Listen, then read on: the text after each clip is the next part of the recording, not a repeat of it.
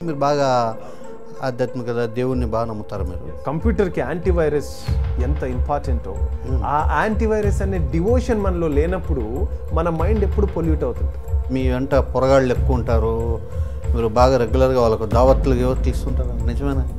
నా వెనకాల ఉండే యూత్ ఎవరు తాగుబోతులు తిరుగుబోతులు కాదండి. మీరు మీరు చూడండి. గల్ఫ్ వర్కర్స్ అసోసియేషన్ అనేది ఒకటి ఏర్పాటు చేయాలి. థాట్ మీకు ఎందుకు వచ్చిందంటే ఏదైనా ఒక ఇన్సిడెంట్ కానీ ఇట్లా ఏమైనా మిమ్మల్ని ప్రభావితం చేసి ఒక కార్మికుడు ఫేస్ చేసే సమస్య ఎట్లుంటుందంటే మీకు ఎగ్జాంపుల్ దుబాయ్ చెప్తే కనుక ఉదయం వండుకున్న అన్నం వేడివేడి అన్నం ఆ బాక్స్లో పెట్టుకుంటే ఆ వెదర్ హ్యూమిడిటీకి ఒక్కొక్కసారి ఆ ఫుడ్ కూడా పాచిపోతుంది. వాటర్ తాగేంత టైం కూడా అంటే మేనేజ్మెంట్లో యజమానులు వాళ్ళకి ఆ టైం ఇవ్వరా? వాస్తవంగా వాళ్ళకి అంత టైం ఉండదా? ఇక్కడ టూ థింగ్స్ ఒకటి ల్యాక్ ఆఫ్ అవేర్నెస్ రెండోది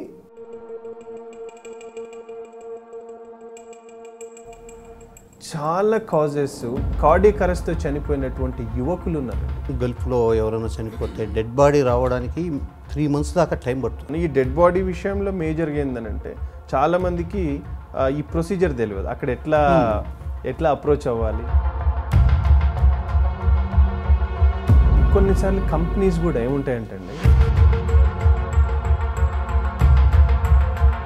గల్ఫ్ కంట్రీస్లో ఎక్కువ వీసా వైలేషన్స్ అనేది ఎక్కువ ఉంటాయి. అసలు ప్రాబ్లం బేసిక్ ప్రాబ్లం ఎక్కడ వస్తుంది అనేది అంటారు. అసలు వీసా వైలేషన్స్ ఎందుకు జరుగుతున్నాయి? ఒక డ్రీమ్తో వెళ్తున్నాడు మైగ్రెంట్ ఒక వర్కర్.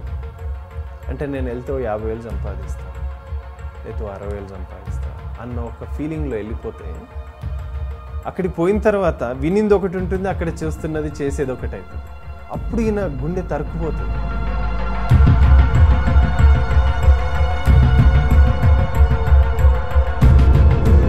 ఎలక్షన్స్ ముందు టీఆర్ఎస్ మేనిఫెస్టోలో కూడా పెట్టారు. గల్ఫ్ కార్మికులు ఎవరైతే ఉన్నారో వాళ్ళకు ఒక పాలసీ తయారు చేస్తాం ఆ పాలసీ ఎంతవరకు వచ్చింది? ఇప్పుడు ప్రభుత్వం నుంచి వాళ్ళకి ఏ రకమైన సహాయం కానీ సహకారం కానీ అంత. అంటే మీరు అది కోఆర్డినేట్ చేస్తున్నారు కదా. ఎంత మోసం అంటే ఐదు వందల కోట్ల రూపాయలతో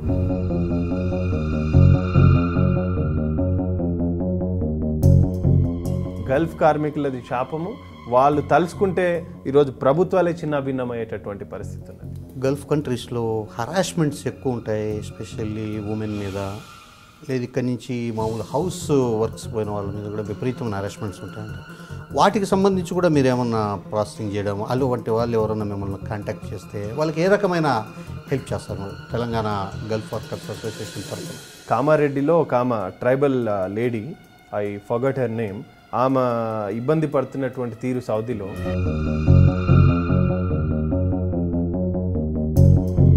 అసలు నారాయణపేట కాన్స్టిట్యున్సీకి సంబంధించిన వాళ్ళు టెక్నికల్గా దేవేంద్ర రెడ్డి గారు మక్తల్కి ఏం సంబంధము అనేది మీ లోకల్ కాంగ్రెస్ లీడర్ల నుంచి వస్తుంటే ఒక పెద్ద అభ్యంతరం. ఓటేసే హక్కు నాకు ఉన్నప్పుడు ప్రజాస్వామ్య దేశంలో పోటీ చేసే హక్కు కూడా నాకు అంతే ఉంటుంది. నా పాలసీ నీకు నచ్చలేదు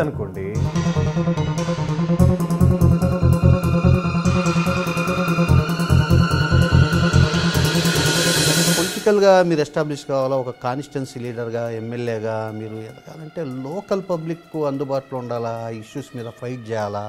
జనానికి అందుబాటులో ఉండాలా? ఫోన్ కొడతానే రావాలా? పోలీస్ స్టేషన్లో ఇష్యూస్ అటెండ్ చేయాలి? ఇవన్నీ మీరు చేయగలిగిన టైం లేదు. ఎట్లా మీరు పోటీదారుడవుతారనేది ఒక విమర్శ. ఎమ్మెల్యే అంటే ఏంటండి సర్వెంట్ అండి. సర్వెంట్ తెలంగాణలో మీ ప్రభుత్వం వస్తే అప్పుడు మీరు ఏమేమి చెప్పారో? అవన్నీ చెయ్యగలమనే భరోసా మీకుందా నేను ఎమ్మెల్యే అయితే నేను ఆనందపడటం కాదు.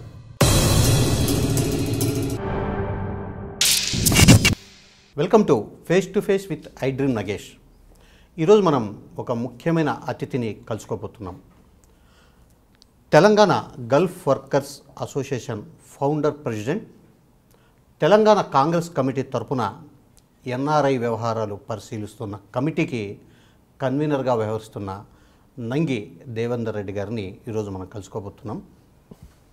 అసలు తెలంగాణలో నేటి రాజకీయ పరిస్థితులు తెలంగాణ వర్కర్స్ యూనియన్ ఎందుకు ఏర్పాటు చేయాల్సి వచ్చింది? ఇప్పుడు తెలంగాణలో ఉండే పరిస్థితుల్లో రాజకీయంగా ఆయన ఎలా సస్టైన్ కావాలనుకుంటున్నారు? ఈ విషయాలన్నీ డిస్కస్ చేయడానికి దేవేందర్ రెడ్డి గారు మనతో సిద్ధంగా ఉన్నారు. నమస్తే నమస్తే అండి.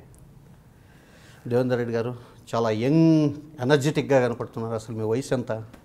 I'm just thirty six years old అండి అదే మీలో బాగా ఎనర్జెటిక్గా ఉన్నారు. దాదాపు రెండు గంటల నుంచి మనం బయట మాట్లాడుకున్నాం. మీరు అసలు ఎనర్జీ లెవెల్స్ అనేది ఏం తగ్గల కాన్ఫిడెంట్ ఎక్కువ కనపడ కాన్ఫిడెన్స్గా అంటే మంచి పని చేసినప్పుడు మంచి ఆలోచనలు ఉన్నప్పుడు మనిషి ఎప్పుడు కూడా ఎనర్జీగా ఉంటాడు అనేది స్వామివారు సత్యబాబా గారు చెప్పేది అంటే I'm big follower of Sathyababa గారు ఫస్ట్ ఆఫ్ ఆల్ అంటే స్వామి ఎప్పుడు చెప్పేది అనమాట be positive do positive so think always in a positive mode you will be you know fresh energy always you gain fresh energy అని చెప్పేసి. అంటే సత్యసాయిబాబు గారి డివోటీ అంటున్నారు? అంటే సత్యసాయిబాబు గారితో ఎట్లా కనెక్ట్ అయ్యారు మీరు? అంటే మా పెదనాన్న గారు ఆర్టీసీలో టీటీఐగా పనిచేస్తున్నప్పుడు అట్లా వాళ్ళు వెళ్తూ వెళ్తూ పుట్టపడితే వెళ్ళారు. గుడ్. వెళ్ళినప్పుడు మా పెదనాన్న గారు కూడా ఈ వాజ్ నాట్ డివోటీ బట్ అక్కడ ఉన్నటువంటి ఆ వచ్చే జనాల్ని ఆ భక్తుల్ని అంతా చూసి ఏంటి అసలు ఈ పుట్టపడితే ఏంటి? ఇంతమంది ఫారినర్స్ రావటం ఏంటి? అని ఆయన కూడా ఒకసారి వెళ్ళినారంట. వెళ్తే ఆయన కూడా నెగిటివ్ మైండ్తోనే వెళ్ళినారు. ఫస్ట్ టైం వెళ్ళినప్పుడు ఏదో కొద్దిగా కనెక్ట్ అయినారు. సెకండ్ టైం వెళ్ళినప్పుడు స్వామివారు ముందే లైన్లో వచ్చి బ్లెస్సింగ్ ఇచ్చి చాక్లెట్స్ ఇచ్చి అప్పుడు చాలా ఈ థ్రిల్డ్ అనమాట టోటలీ అడ్మైర్ ఫర్ స్వామి. అప్పుడు వచ్చి మళ్ళీ మా దగ్గర నైన్టీన్ నైన్టీలో మా ఊర్లో మా జిన్నారం ఇప్పుడు మర్కెల్ మండల్ మక్తల్ కాన్స్టిట్యున్సీ మహబూనారు మా ఊర్లో ఫస్ట్ భజన మండలి స్టార్ట్ చేసినారు అనమాట అప్పుడు నేను I was just twelve years old అని ఆల్మోస్ట్ సో అప్పటి నుంచి ఆధ్యాత్మిక కార్యక్రమాలు బాల వికాస్ అనే కార్యక్రమాలు అట్లాంటి కార్యక్రమాలతో ముందుకు పోయేవాళ్ళం.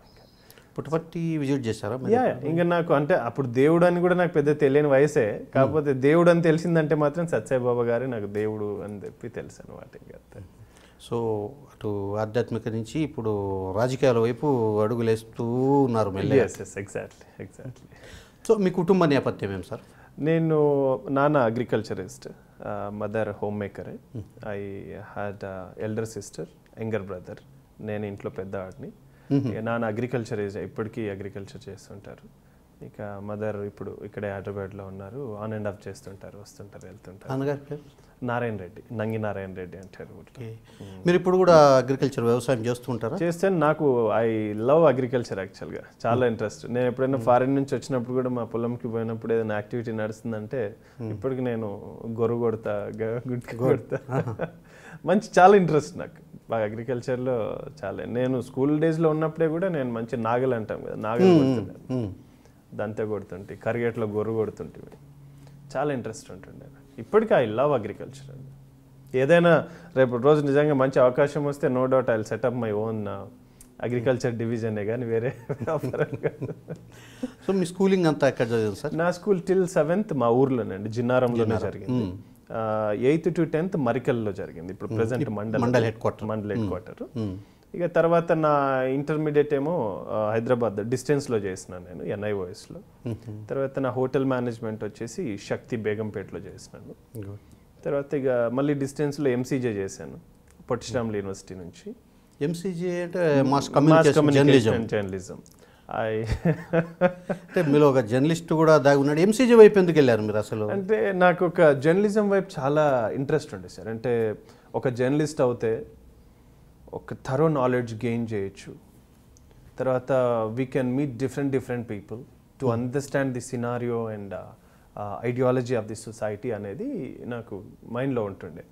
తర్వాత ఈ ఎలక్ట్రానిక్ మీడియా వచ్చిన తర్వాత నేను కొద్దిగా ప్రభావితుడిని అయ్యాను అంటే చాలా మంది కూడా నాకు ఎట్లా కాంప్లిమెంట్ ఇచ్చినుండే అంటే అరే you you suits for the you know news ప్రెజెంటర్గా you suits for you looks very good in camera in front of camera అది ఇది అనేసి కొట్లా అట్లా ఇచ్చినుండే. నాకు కూడా అది it was there in my mind ఎక్కడో. అని చెప్పేసి నేను I tried for couple of channels కూడా. Even they offered me in fact కానీ నాకు అదే సమయంలో నాకు ఉద్యోగం మళ్ళీ బయట దేశంలో ఉద్యోగం రావటం నేను అక్కడ వెళ్ళటం ఎట్లా జరిగింది? బయట దేశంలో ఎక్కడ చేస్తారు బహ్రెయిన్లో నాకు మిడిల్ ఈస్ట్లో ఇంటెలిజెన్స్ ఎన్ఎస్ఏ అని నేషనల్ సెక్యూరిటీ ఏజెన్సీలో నేను ప్రోటోకాల్ డిపార్ట్మెంట్లో పనిచేసిన ఒక ఫైవ్ ఇయర్స్. చేస్తూ ఇక దాని త్రూ అట్లా అట్లా ఇక గల్ఫ్ ఎక్స్పీరియన్స్ దాంట్లో మనం కూడా ఏదో ఒకటి చేయాలన్న ఒక కుతూహలంతో అప్పుడు ఈ బాగా ఈ సర్వీస్ ఇండస్ట్రీలోకి ఎక్కువగా వచ్చాం అనమాట అక్కడ సార్ మీరు ఈ గల్ఫ్కి వెళ్ళారు అక్కడ ఈ జాబ్ చేస్తూ వచ్చారు. అసలు గల్ఫ్ వర్కర్స్ అసోసియేషన్ అనేది ఒకటి ఏర్పాటు చేయాలి. థాట్ మీకు ఎందుకు వచ్చింది? అంటే ఏదైనా ఒక ఇన్సిడెంట్ కానీ ఇట్లా ఏమైనా మిమ్మల్ని ప్రభావితం చేసింది? యా యా డెఫినెట్గా అండి. ఎందుకంటే గల్ఫ్లో వాస్తవంగా వర్కర్స్కి చాలా ఇష్యూస్ అండి. అంటే మార్నింగ్ ఫైవ్ ఓ క్లాక్ లేవాలి. ఫైవ్ కాదు ఫోర్కి లేస్తాడు. ఫైవ్ ఓ క్లాక్ వరకల్లా ఆయన ఫుడ్ ప్రిపేర్ చేసుకోవాలి. తర్వాత మళ్ళీ బాక్స్ పెట్టుకోవాలి. ఫైవ్ ఫైవ్ థర్టీ కల్లా బస్సులో కూర్చోవాలి అంతే సైడ్కి వెళ్ళాలంటే. లేట్ అయిపోయిందంటే బస్సు వెళ్ళిపోతుంది. ఆ రోజు ఇంకా బంక్ ఆయన ఈ లూజ్ ఈ సాలరీ డే. వెళ్తూ ఆయన ఒక కార్మికుడు ఫేస్ చేసే సమస్య ఎట్లుంటుందంటే మీకు ఎగ్జాంపుల్ దుబాయ్ చెప్తే కనుక ఒకవేళ ఆయన షార్జాలో ఇప్పుడు సోనాపూర్ క్యాంప్స్ అని ఉంటాయి దుబాయ్లో. ఒక సోనాపూర్ క్యాంప్ దుబాయ్ నుంచి ఆల్మోస్ట్ బై బస్ అయితే ఒక హాఫ్ అన్ అవర్లో అట్లా పడుతుంది. ట్రాఫిక్ ఉంటే టూ అవర్స్ పడుతుంది అది. ఇట్లాంటి క్యాంపుల్లో వీళ్ళ సైట్ ఎక్కడ ఉంటుందంటే ఒకటి అజ్మాన్ ఉండొచ్చు లేదా ఒక షార్జా ఉండొచ్చు లేదా ఇంకా దుబాయ్లోనే ఇంకా వేరే ఇది ఆ లొకేషన్స్లో ఉంటుంది. ఉదయం ఐదు గంటలకు బయలుదేరితే నైట్ ఎయిట్ టు నైన్ ఓ క్లాక్కి మళ్ళీ క్యాంపుకి రీచ్ అవుతారు. ఉదయం వండుకున్న అన్నం వేడివేడి అన్నం ఆ బాక్స్లో పెట్టుకుంటే ఆ వెదర్ హ్యూమిడిటీకి ఒక్కొక్కసారి ఆ ఫుడ్ కూడా పాచిపోతుంది. అయినా కూడా తప్పని పరిస్థితిలో తినాల్సి వస్తుంది. తింటారు. ఆరోగ్యాల్ని సైతం లెక్క చేయరు. పని పొద్దున్న లేస్తే పని చేయాలంతే. అట్లాంటి పని చేసుకునే తరుణంలో చాలామందికి హెల్త్ కాన్షియస్ ఉండదు. ఆ ఎండలో పని చేస్తున్నప్పుడు వాళ్ళ మొత్తం స్వెట్ పోయి బాడీ అంతా డిహైడ్రేట్ అవుతుంది. కనీసం వాళ్ళకి అంటే కంపెనీస్ కూడా ఎంత దారుణం అంటే మంత్లీ వన్స్ వాళ్ళ హెల్త్ చెకప్స్ కూడా చేయించారండి కార్మికులకి. వీళ్ళకి కాన్షియస్ కనీసం ఎండలో పనిచేస్తున్నప్పుడు సైట్లో పనిచేస్తున్నప్పుడు ఒక గంటలో రెండు సార్లు ఒకసారి వాటర్ తాగాలి కనీసం బ్రేక్స్ అంటే కొన్ని నియమాలు ఉన్నప్పటికీ కూడా ఆ పని ఒత్తిడిలో వాళ్ళు ఏం చేస్తారంటే కంటిన్యూస్గా వాళ్ళు అట్లా ప్రొసీడ్ అవుతారు. ఒక నాలుగు గంటలు ఐదు గంటలు ఒకసారి వాటర్ కూడా తాగరు. అంటే వాటర్ తాగేంత టైం కూడా అంటే మేనేజ్మెంట్లో యజమానులు వాళ్ళకి ఆ టైం ఇవ్వరా? వాస్తవంగా వాళ్ళకి అంత టైం ఉండదా? ఇక్కడ టూ థింగ్స్ ఉన్నాయి. ఒకటి ల్యాక్ ఆఫ్ అవేర్నెస్ రెండోది ఈ ఎవరైతే ఆ ఫోర్మెన్ అంటారు ఆ సూపర్వైజింగ్ వర్క్ మానిటర్ చేసే వాళ్ళు వాడిని భయపెట్టిస్తాడు. వాడు మన తెలుగువాడు ఉండడు. ఆబ్వియస్గా వేరే తమిళోడో కర్ణాటకవాడో లేకపోతే కేరళవాడో ఉంటాడు. వాడు "ఆ, ఏం రా అన్నట్టు కన్నెర చేసేసరికి వీడు "అరే, ఎందుకు వచ్చిన బాధ? అని చెప్పేసి వర్క్లో కంటిన్యూ అయిపోతుంటారు అట్లా అయిపోయేసరికి ఏమైందంటే వాళ్ళకు they they lose so much అనమాట అంటే ఒక ఎనర్జీ పోతుంది ప్రోటీన్స్ సరిగ్గా తీసుకోరు. తర్వాత బాడీ డిహైడ్రేట్ అయిపోయేసరికి చాలా కాజెస్ కార్డియక్ అరెస్ట్తో చనిపోయినటువంటి యువకులు ఉన్నారండి ఇరవై ఎనిమిది ఇరవై నాలుగు ముప్పై ముప్పై రెండు ముప్పై ఆరు ఏళ్ళ youth just they demised due to cardiac arrest ఎంత దారుణం అంటే అంత దారుణం. ఇలాంటి వాటిల్లో నేను మిడిల్ ఈస్ట్ నుంచి తిరిగి వచ్చిన తర్వాత మేము ఒకరోజు ఈ సంఘటనలన్నీ రాజగోపాల్ రెడ్డి గారు కోమటిరెడ్డి రాజగోపాల్ రెడ్డి గారు ప్రజెంట్ ఎమ్మెల్సీ ఆయనతో ఒకరోజు చెప్తున్నాం అనమాట చెప్తున్నప్పుడు ఇట్లా ఉన్నాయన్న సమస్యలు ఉన్నాయి బాగా గల్ఫ్కి. అది ఇది అన్నప్పుడు మరి ఏదైనా చేయండి దానికి నేను కూడా మీకు కొద్దిగా సపోర్ట్ చేస్తాను నా వంతుగా అన్నప్పుడు అప్పుడు ఈజ్ యాక్చువల్గా ఆనరబుల్ ప్రెసిడెంట్గా ఆయన పెట్టుకున్నాం నేను founder president Telangana gulf workers. అంటే గల్ఫ్ దేశాలన్నింటికి మనకు ఒక హోమ్ బేస్ ఇక్కడ ఉండాలి అని తెలంగాణ గల్ఫ్ వర్కర్స్ అసోసియేషన్ అని మనం ఇక్కడ పెట్టామన్నమాట.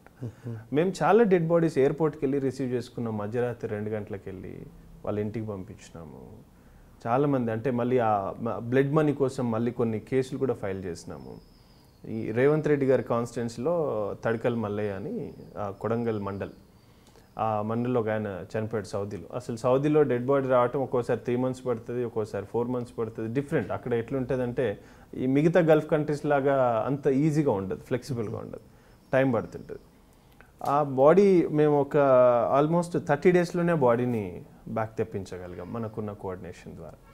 ఆ ఫ్యామిలీకి కూడా మనం మనవంతుగా అంటే పార్టీ అంటే ప్రభుత్వం ద్వారా ఏం హెల్ప్ జరగలేదు ఈ రోజు వరకు కూడా మనమే వాళ్ళ కూతుళ్ళు ముగ్గురు కూతుళ్ళు ఒక అబ్బాయి ఆయనకు పాపం. అప్పుడే అప్పు చేసుకొని ఇల్లు కట్టుకొని చాలా నానా దీన పరిస్థితిలో ఉంటే మొన్నే పెద్ద అమ్మాయికి మన తెలంగాణ గల్ఫ్ వర్కర్స్ అసోసియేషన్ ద్వారా ఇంటర్మీడియట్లో కూడా ఫ్రీ అడ్మిషన్ ఇప్పించినాం మనం. అట్లా కొన్ని ఫ్యామిలీస్కి కూడా వాళ్ళకి భరోసా. దీని ద్వారా ప్రీ డిపార్చర్ ఓరియంటేషన్ అంటే గల్ఫ్కి వెళ్తే ఎట్లుండాలి? గల్ఫ్కి వెళ్ళిన తర్వాత ఏ జాగ్రత్తలు తీసుకోవాలి? వెళ్ళే ముందు ఎట్లాంటి జాగ్రత్తలు తీసుకోవాలి? అన్నటువంటి దాన్ని కూడా మనం మన తెగువ అంటే తెలంగాణ గల్ఫ్ వర్కర్స్ అసోసియేషన్ ద్వారా మనం అట్లాంటి కార్యక్రమాలు కూడా ఇస్తున్నాం అనమాట నేను మామూలుగా కూడా అంటే కొన్నిసార్లు రాజకీయాలకు అతీతంగానే నేను మలేషియా అటు ఇటు వెళ్ళి చాలామందిని రెస్క్యూ చేశాం మలేషియాలో ఒక థర్టీ ఫైవ్ మెంబర్స్ని మనం వీ బ్రాడ్ బ్యాక్ అనమాట ఒక ఏజెంట్ చేతిలో మోసపోయి వాళ్ళు దీనమైనటువంటి స్థితిలో ఉంటే ఐ బీన్ దేర్ ఫిజికలీ. వెళ్ళి బాగా శనవాంగే టోటో అని మలేషియా నుంచి దాదాపు ఒక హండ్రెడ్ కిలోమీటర్స్ ఉంటుంది. ఆ లొకేషన్కి నా ఫ్రెండ్ శాంతిప్రియ అని ఉండే అక్కడ. ఆమె నేను వెళ్ళి వీ బ్రాడ్ దెమ్ బ్యాక్ అనమాట సో మళ్ళీ ఆ కమిషన్లోకి తీసుకొచ్చి వాళ్ళకు ఎగ్జిట్ పాస్పోర్ట్స్ ఇప్పించి చాలా చాలా చేసాం అంటే మీరు ఇంతకుముందు చెప్పారు గల్ఫ్లో ఎవరైనా చనిపోతే డెడ్ బాడీ రావడానికి త్రీ మంత్స్ దాకా టైం పడుతుంది. అంత అంటే అఫీషియల్ ఈ ప్రక్రియ అంతా పూర్తి కావడానికి ఇది పడుతుందా? అంటే కొన్నిసార్లు కంపెనీస్ కూడా ఏముంటాయంటండి సీరియస్ తీసుకోరు. ఎస్పెషల్లీ సౌదీ లాంటి కంపెనీస్లో. ఇప్పుడు బహ్రెయిన్ ఖతార్ కువైట్ ఇవన్నీ కూడా ఒక వీక్ డేస్ టెన్ డేస్లో ఉన్నాయి. అంటే ఇక్కడ కూడా రెండు రకాలు ఉంటుంది. ఒకటి ఏంటంటే ఇర్రెగ్యులర్ మైగ్రెంట్ అయితే ప్రాబ్లం ఏమవుతుందంటే ఈయన పాస్పోర్ట్ ఎక్కడో ఉంటుంది. కంపెనీకి సంబంధం ఉండదు. ఈయన అప్స్కాండ్ అయ్యి ఎక్కడో పోయిన ఉంటాడు ఓకే. ఈయన బయటికి వెళ్ళిపోయి ఎక్కడో యాక్సిడెంట్లో చనిపోవచ్చు హార్ట్ అటాక్తో చనిపోవచ్చు. ఇల్నెస్ వచ్చి చనిపోవచ్చు ఏదో ఒకటి సమ్ రీజన్ ఉంటుంది. అలాంటి వ్యక్తికి మళ్ళీ రెగ్యులర్ ఫార్మాలిటీకి తీసుకురావాలి. ఎంబసీ నుంచి అటెస్టేషన్ కావాలి ఎంబసీ ఎన్ఓసి ఇవ్వాలి హెల్త్ ఎన్ఓసి రావాలి అక్కడ పోలీస్ క్లియరెన్స్ రావాలి. తర్వాత ఇక్కడ నుంచి అఫిడవిట్ పంపించాలి ఫ్యామిలీ మా ఆయన చనిపోయినారని వైఫ్ రాయాలి. లేదా వైఫ్ లేకపోతే సంబంధిత వ్యక్తులు బ్లడ్ రిలేషన్ బ్లడ్ రిలేషన్ వాళ్ళు ఒక అఫిడవిట్ రాసి ఎంబసీకి పంపించాలి. సో ఇట్లాంటి ఒక పెద్ద ప్రొసీజర్ ఉంటుంది. ఇప్పుడు అక్కడ మనలాగా ప- పని చేయరు. వాళ్ళ seven to two o'clock మినిస్ట్రీలో వర్క్స్ జనరల్గా గల్ఫ్లో. ఆ వన్ థర్టీకి ఫైల్ వచ్చినా కూడా యాక్సెప్ట్ చేయడు ఇంకా. ఇంకా బర్డెన్ తీసుకోడు ఎక్కువ. అయిపోయి ఉంటుంది. ఆ రోజుకి డే అయిపోయి ఉంటుంది ఇంకా. సో మళ్ళీ నెక్స్ట్ డే వస్తాడు. నెక్స్ట్ డే వచ్చి మెల్లగా రివ్యూ చేసుకొని ఆయన సంతకం పెట్టి మళ్ళీ ఇంకో డిపార్ట్మెంట్ పంపించి ఒక్కొక్క డిపార్ట్మెంట్ నుంచి ఒక్కొక్క ఫైల్ మూవ్ అవ్వడానికి ఈ take one one and half day time you just assume that you know it takes almost six to eight working days తీసుకుంటుంది. సో అక్కడ కొద్దిగా. తర్వాత కంపెనీస్ శాలరీ సెటిల్మెంట్ చేయాలి before coming the dead body ఒకవేళ అది కాకపోతే డెడ్ బాడీ వచ్చినాకైనా సెటిల్ చేసి కొందరు పంపిస్తారు కొందరు అసలు చేతులు ఎత్తేస్తారు. సో అట్లాంటి వాళ్ళకు కూడా మనం మళ్ళీ తర్వాత ఎంబసీకి అటాచ్ చేసి ఈమెయిల్స్ పెట్టి కంపెనీకి ఫలానా డిసీజ్డ్ ఫ్యామిలీకి మీరు ఇవ్వాల్సినటువంటి సెటిల్మెంట్స్ ఇవ్వలేదని. ఇప్పుడు నేను చెప్పిన తడకల్ మల్లయ్యకి టూ మంత్స్ తర్వాత ఆయన company salary settlements insurance amount పంపించినారు. అరవై వేల అరవై ఐదు వేల రూపాయలు వచ్చినాయి. అది కూడా జిల్లా కలెక్టర్ త్రూ ఎంఆర్ఓ పంపించి ఎంఆర్ఓ నుంచి అక్కడ పంపించాం. సో కొన్ని సంఘటనలు అప్పుడప్పుడు మీడియాలో వస్తుంటాయి చూస్తుంటాం మనం కూడా. ఈ ప్రాసెస్ అంతా చేయలేక ఎలా చేయాలనో తెలియక ఎవరిని కాంటాక్ట్ చేయాలనో అర్థం కాక కొంతమంది డెడ్ బాడీస్ అక్కడే వాళ్ళు అవును. క్రిమేషన్ చేసి ఆ తర్వాత వీళ్ళకు ఇన్ఫర్మేషన్ పంపించడం లేదా సెటిల్మెంట్స్ పంపడం అనేది జరుగుతూ ఉంటాయి. ఇలాంటి వాళ్ళకు మీ అసోసియేషన్ తరపున ఎట్లా ఏ రకమైన సహాయం అందించగలుగుతారు డెఫినెట్గా మన దగ్గరకు వచ్చినటువంటి ఈ రోజు వరకు ఎన్ని కేసులు వచ్చినాయో ఆల్మోస్ట్ మనం రిజాల్వ్ చేస్తున్నాం కొన్ని అప్స్కాండ్ తర్వాత మిస్సింగ్ కేసెస్ అంటాం. అంటే ఒక పదేళ్ళు అయింది ఆయన వెళ్ళిపోయిండు ఇప్పటికీ ఫోన్ లేదు అన్న కేసులు కూడా మన దగ్గర ఉన్నాయి. అలాంటివి ఏంటంటే కొన్ని గవర్నమెంట్ ఇన్వాల్వ్ అయ్యి చేయాల్సినటువంటివి అవి. ఇప్పుడు మనం వెళ్ళి ఆయన వెతకాలి అని అంటే it's related to economics things అనమాట టర్మ్స్ మనం వెళ్ళి అక్కడ ఉండి మనం ఖర్చు పెట్టి వెతికి ఇదంతా చేయాలి అని అంటే ఇట్స్ ఆల్ అబౌట్ బడ్జెట్ అలాంటి వాటికి మనం ఇప్పటికైనా కూడా మనం ఏం పాస్ చేస్తున్నాం అంటే ఫలానా వ్యక్తి ఎవరు ఎక్కడున్నారు ఈయన పాస్పోర్ట్ డీటెయిల్స్ అవన్నీ ఇస్తే మనం అక్కడ సంబంధిత మన టీమ్స్ మన ఫ్రెండ్స్ ఎవరైతే వెల్విషర్స్ ఉంటారో అయితే మన దగ్గర మనకు అసోసియేషన్స్ మన టీమ్స్ ఉన్న వాళ్ళు చేస్తే వాళ్ళు కూడా అక్కడ వెతికి ఫలానా వ్యక్తిరా ఫలానా మండల్ ఫలానా విలేజ్ ఈ ఏరియాకి సంబంధించినటువంటి వ్యక్తి అని చెప్పి చెప్తా ఉన్నారు. అట్లాంటివి కూడా జరుగుతూ ఉన్నాయి. అట్లా మనం ఆ రకమైనటువంటి హెల్ప్ చేయొచ్చు. Regarding dead bodies accidental deaths ఇవన్నీ కూడా మనం రిజాల్వ్ చేస్తా ఉన్నాం. మన దగ్గరకు వచ్చినాయి ఆల్మోస్ట్ అయిపోయినాయి. తర్వాత ఇట్లాంటి ఆమ్నెస్టీలు ఉన్నాయి. రేపు ఆగస్ట్ ఫస్ట్ అక్టోబర్ ఇలాంటి వాటిలో కూడా మనం చేస్తాం ఈ డెడ్ బాడీ విషయంలో మేజర్గా ఏంటంటే చాలా మందికి ఆ, ఈ ప్రొసీజర్ తెలియదు అక్కడ ఎట్లా ఎట్లా అప్రోచ్ అవ్వాలి ఎట్లా చేయాలి ఏందనే దాని మీద తెలియదు బట్ మనం ఇక్కడ నుంచి ఒక ఈమెయిల్ ఎంబసీకి రాసి ఒక ఈమెయిల్ కంపెనీకి రాసి సో వీటి ఇద్దరిని బ్లాక్ అండ్ వైట్లో మనం పెడుతున్నాం. ఇద్దరికి సీసీ పెట్టేసి కోఆర్డినేషన్ ఏం జరుగుతుంది అనేది మనం తీసుకోగలుగుతాం అప్డేట్. అట్లా చేస్తే వాళ్ళు కూడా ఎక్కడైనా నెగ్లెక్ట్ అయిందంటే మనం అవసరం అంటే ఎక్స్టర్నల్ అఫైర్స్కి పంపిస్తాం. సుష్మా స్వరాజ్ గారికి ట్వీట్ చేయడమా లేకపోతే సుష్మా స్వరాజ్ గారికి ఈమెయిల్ పెట్టడమా ఇట్లాంటి వాటిల్లో మనము ఇచ్చేస్తాం అనమాట అంటే గల్ఫ్ కంట్రీస్లో ఎక్కువ వీసా వైలేషన్స్ అనేది ఎక్కువ ఉంటాయి. అసలు ప్రాబ్లం బేసిక్ ప్రాబ్లం ఎక్కడ వస్తుంది అనేది అంటారు. సార్ విసా వైలేషన్స్ ఎందుకు జరుగుతున్నాయి? కారణం? గుడ్ క్వశ్చన్ అండి. అసలు ఇది చాలా మంచి క్వశ్చన్. ఈ వీసా వయలేషన్లో రెండు రకాలైనటువంటి ప్రాబ్లమ్స్ ఉన్నాయి. ఒకటేంటంటే తెలిసి తెలియక రిక్రూట్ చేసేటటువంటి ఇక్కడ ఉన్న సబ్ ఏజెంట్స్ మనం ఏమంటున్నాం అంటే ఏజెంట్లు అంటున్నాం జనరల్గా. ఏజెంట్ని లైసెన్స్ ఉన్నవాడిని కూడా రిక్రూటింగ్ ఏజెంట్ అంటున్నాం మనం. రిక్రూటింగ్ ఏజెంట్ కింద పనిచేసే వ్యక్తి సబ్ ఏజెంట్కి అయితే ఈ ఏజెంట్స్ ఇప్పుడు రిక్రూటింగ్ ఏజెంట్ రిక్రూట్ చేస్తేనేమో లీగల్గా ఉంటుంది ప్రొసీజర్ క్లారిటీ ఉంటుంది. ఎవరైతే సబ్ ఏజెంట్ త్రూ వెళ్ళిపోతాడో వాడికి వచ్చే ప్రాబ్లమే ఈ వీసా వయలేషన్స్ అన్నమాట. ఒక రీజన్ ఇదైతే. రెండోది ఏంటంటే ఒక డ్రీమ్తో వెళ్తున్నాడు మైగ్రెంట్ ఒక వర్కర్ అంటే నేను వెళ్తే యాభై వేలు సంపాదిస్తా లేకపోతే అరవై వేలు సంపాదిస్తా అన్న ఒక ఫీలింగ్లో వెళ్ళిపోతే అక్కడికి పోయిన తర్వాత వినింది ఒకటి ఉంటుంది అక్కడ చూస్తున్నది చేసేది ఒకటి అవుతుంది అప్పుడు ఈయన గుండె తరుక్కుపోతుంది. అరే నేను ఇట్లా అనుకొని వచ్చినా నాకు ఇవాళ ఈ నాకు ఇరవై వేల రూపాయలు వస్తే ఏం సరిపోతాయి? ఇట్లా కాదు నాకు. నాకు యాభై వేలు వచ్చే పనే కావాలని చెప్పి ఈ కంపెనీ నుంచి అప్స్కాండ్ అయ్యి వెళ్ళిపోతుంది.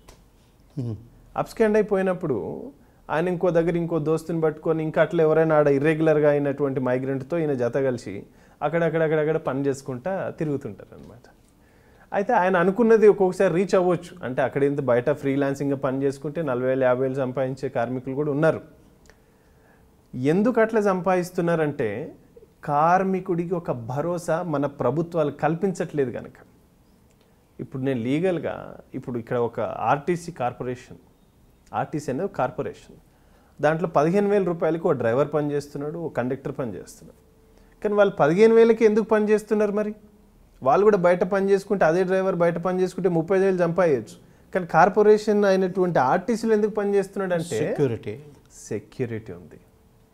ఈరోజు ఈ మైగ్రెంట్కి సెక్యూరిటీ లేదండి. ఈ ప్రభుత్వాలు వాళ్ళు పంపిస్తున్న డబ్బుల్ని ట్యాక్స్ రూపంలో తింటున్నారు కానీ కార్మికులకు ఈరోజు పది లక్షల మంది కార్మికులు తెలంగాణ నుంచి పది పన్నెండు లక్షల మంది ఆంధ్ర నుంచి ఈరోజు అంటే ఓవరాల్గా ఇరవై ఇరవై ఐదు లక్షల మంది మన తెలుగు రాష్ట్రాల ప్రజలు ఈరోజు గల్ఫ్లో పనిచేస్తున్నారు. ఇంతమందికి ఒక భరోసా అంటూ లేదు.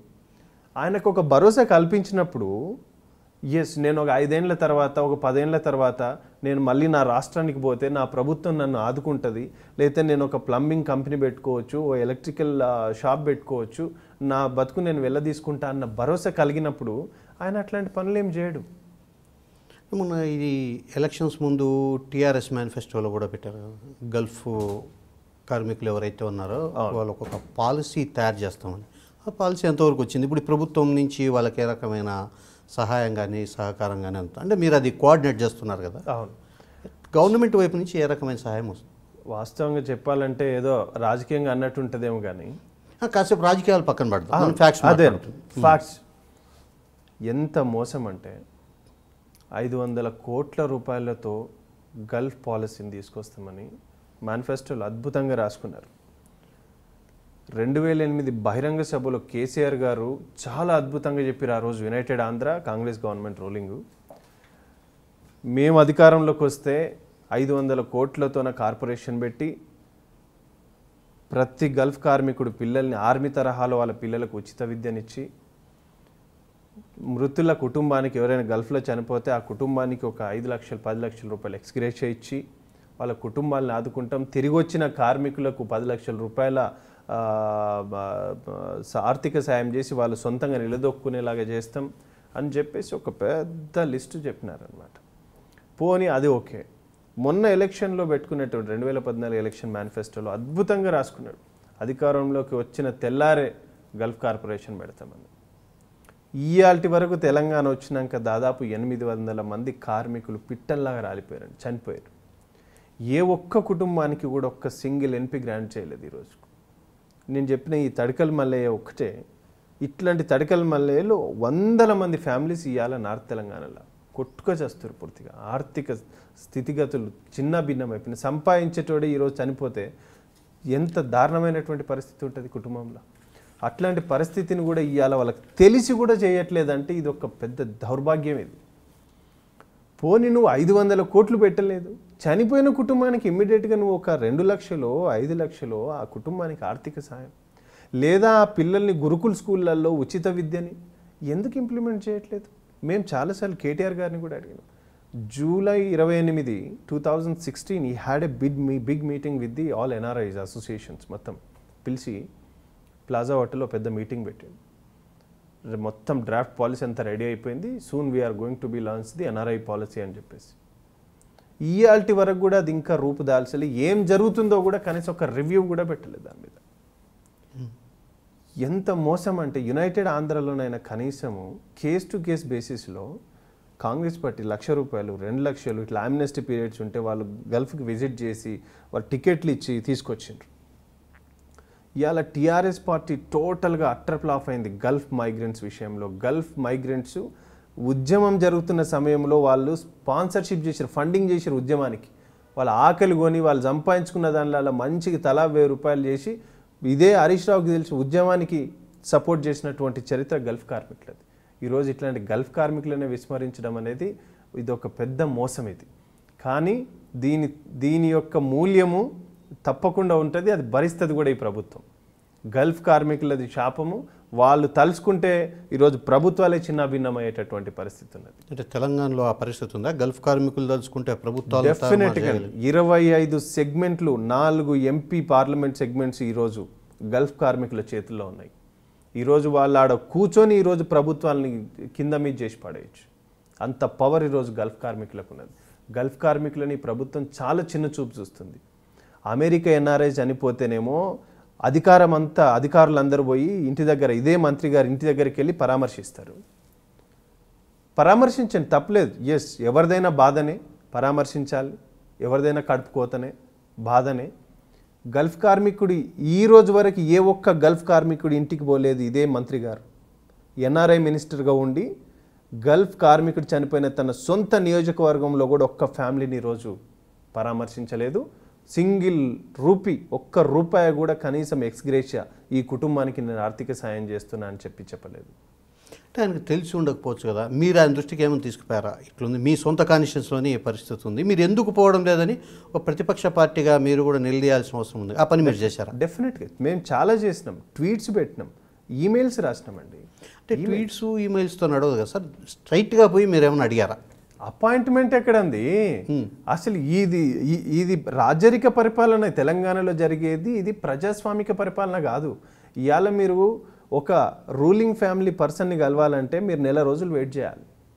నేను దుబాయ్ పోతే నేను ఒక వారం రోజుల్లో రూలింగ్ ఫ్యామిలీ వ్యక్తిని ఏ మంత్రినైనా అక్కడ నేను కలిసే అవకాశం నాకు దొరుకుతుంది. కానీ తెలంగాణలో మాత్రం ఈరోజు ఒక మంత్రిని అంటే రూలింగ్ ఫ్యామిలీ మంత్రిని హరీష్ రావు గారు కానీ కేటీ రావు గారు కానీ కవితారావు గారు కానీ కేసీ రావు గారు కానీ ఇట్లాంటి వాళ్ళని మనం గలవాలంటే సాధ్యం కాదు. వాళ్ళ దాంట్లో ఎమ్మెల్యేలకే సాధ్యం కానప్పుడు మాలాంటి వాళ్ళకి ఏం సాధ్యం అవుతుంది సార్?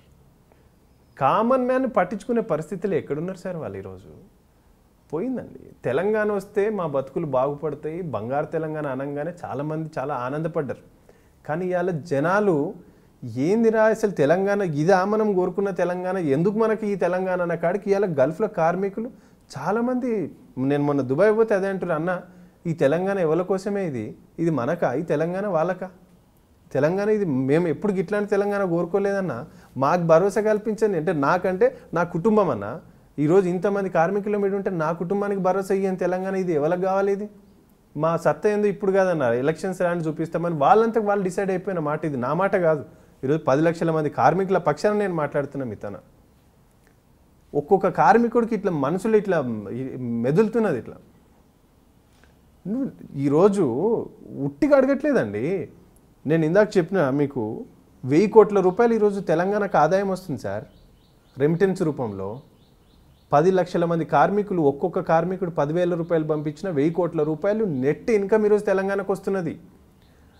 ఫైవ్ పర్సెంట్ ట్యాక్స్ అంటే వచ్చిన డబ్బులు అయితే ఉట్టిగా పెట్టుకోడు కదా. ఆయన ఫీజులు కడతాడు బట్టలు కొంటాడు బుక్కులు కొంటాడు చెప్పులు కొంటాడు కనీసం ట్యాక్స్ కడితే ఫైవ్ పర్సెంట్ వేసుకున్నా కూడా ఇవాళ యాభై కోట్ల రూపాయలు ప్రతి నెల ఆదాయం తెలంగాణ ప్రభుత్వానికి వస్తున్నది. ట్వెల్వ్ ఫైవ్ జా sixty sixty six hundred crores per annum ఈరోజు తెలంగాణ ప్రభుత్వానికి ట్యాక్స్ పోతున్నది ఐదు వందల కోట్లు నువ్వు చెప్పిందే కదా.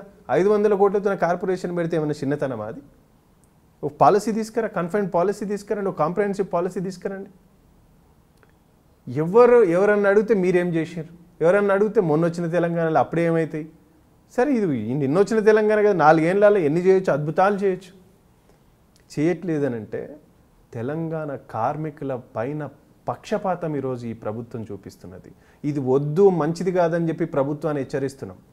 ఈ పద్ధతి మంచిది కాదు పారిశాలిటీ వద్దు అని చెప్తున్నాం. ఇవాళ నిజామాబాద్ నుంచి ఎంపీ గారు కవిత గారు ఉన్నారు. ఎంపీ గారు ఇదే గల్ఫ్ దేశాలకు బతుకమ్మలు బోనాలకు దీనిలకు విజిట్ చేసి ఇది ఒక గల్ఫ్ దేశం కాదు ఇది ఎక్స్టెండెడ్ తెలంగాణ అని చెప్పినటువంటి పార్లమెంట్ సభ్యురాలు కవిత గారు.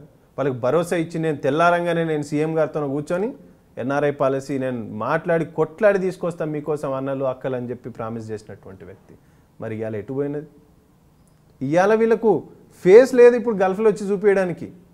అందరూ నల్ల బ్యాడ్జీలతో సిద్ధంగా ఉన్న వీళ్ళు కానబోతే ఇవాళ వెల్కమ్ చెప్పనీకే. ఇందాక అన్నం చూడండి ఎందుకు ఈ ఇర్రెగ్యులర్ అవుతున్నారు ఇల్లు కల్లివల్లి అంటారు జనరల్గా అరబిక్లో ఈ కల్లివల్లి అంటారు. ఎందుకు అవుతున్నారంటే భరోసా లేకనే కదా. ఈరోజు చనిపోయిన ఒక కుటుంబానికి నువ్వు ఈరోజు ఆదుకోవట్లేదంటే పనిచేస్తున్న కార్మికుడికి ఒక ఒక క్వాలిటీ ప్లంబర్ ఉన్నాడు ఒక ఐదేళ్ళు పదేళ్ళు చేసుకున్నాడు. ఆయనకి ఏం భరోసా ఇస్తున్నాం మన ప్రభుత్వం నుంచి? ఎస్ బ్రదర్ నువ్వు వస్తే రా.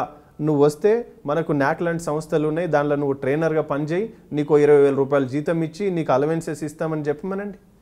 ఇవాళ అక్కడ పని నేర్చుకొని పదేళ్ళు పని చేసుకొని వచ్చినటువంటి వ్యక్తి రేపు వచ్చి మన దగ్గర ఇంకో కొత్త పది మందిని తయారు చేస్తాడు కదా. అక్కడ ప్లంబింగ్ ఈరోజు క్వాలిటీ ప్లంబర్ దొరకట్లేదండి మన దగ్గర. ఇంత పెద్ద హైదరాబాద్ మహానగరంలో అసలు ఈ ఈ ఈ మేసన్ వర్క్స్ ఈ ఇంటీరియర్ వర్క్స్ అంతా ఎవరు చేస్తున్నారు? ఈ పక్క రాష్ట్రాల నుంచి వచ్చి ఇవాళ ఇక్కడ పని చేసుకుంటారు కర్ణాటక మహారాష్ట్ర. ఎందుకు ఇది? అంటే మన వాళ్ళకి నువ్వు అవేర్నెస్ కల్పించలేకపోతున్నావు. ఇన్ని వేల కోట్ల రూపాయలు పెట్టి అడ్వర్టైజ్మెంట్లు చేస్తున్నారు కదా మరి ఈరోజు ఈ స్కిల్ డెవలప్మెంట్ మీద మీరు ఎందుకు చేయట్లేదు? చిన్న మీ పత్రికలు పేపర్లు ఇన్ని ఉన్నాయి ఒక్క చిన్న యాడ్ ఇచ్చేసి బ్రదర్ ఈరోజు ఆమ్నెస్టీ ఉంది రేపు ఆగస్ట్ ఫస్ట్ నుంచి ఆమ్నెస్టీ ఉందండి. ఈ ఆమ్నెస్టీ మీద ఇయాల్టి వరకు కూడా ప్రభుత్వం స్పందించలేదంటే శోచనీయం ఇది? ఇప్పుడు గల్ఫ్ కంట్రీస్లో హరాస్మెంట్స్ ఎక్కువ ఉంటాయి ఎస్పెషల్లీ ఉమెన్ మీద. లేదు ఇక్కడి నుంచి మామూలు హౌస్ వర్క్స్ పోయిన వాళ్ళ మీద కూడా విపరీతమైన హరాస్మెంట్స్ ఉంటాయంట. వాటికి సంబంధించి కూడా మీరు ఏమన్నా ప్రాసెసింగ్ చేయడం వాళ్ళు వంటి వాళ్ళు ఎవరన్నా మిమ్మల్ని కాంటాక్ట్ చేస్తే వాళ్ళకి ఏ రకమైన హెల్ప్ చేస్తారు మీరు? తెలంగాణ గల్ఫ్ వర్కర్స్ అసోసియేషన్ తరఫున చేసాం we helped couple of ladies అండి. మొన్న కువైట్ అమ్నెస్టీలో సంగారెడ్డి ఆమె తులసి అని ఒక ఆమె అక్కడ ఇర్రెగ్యులర్గా ఉండే. ఆమెకు మొన్న అమ్నెస్టీ ఉన్నప్పుడు మనం సంగారెడ్డి ఫార్మర్ ఎమ్మెల్యే జగ్గారెడ్డి గారి త్రూ మనం ఒక టికెట్ ఇప్పించి తులసి గారిని ఆ అమ్మాయిని ఇక్కడికి తెప్పించినాము.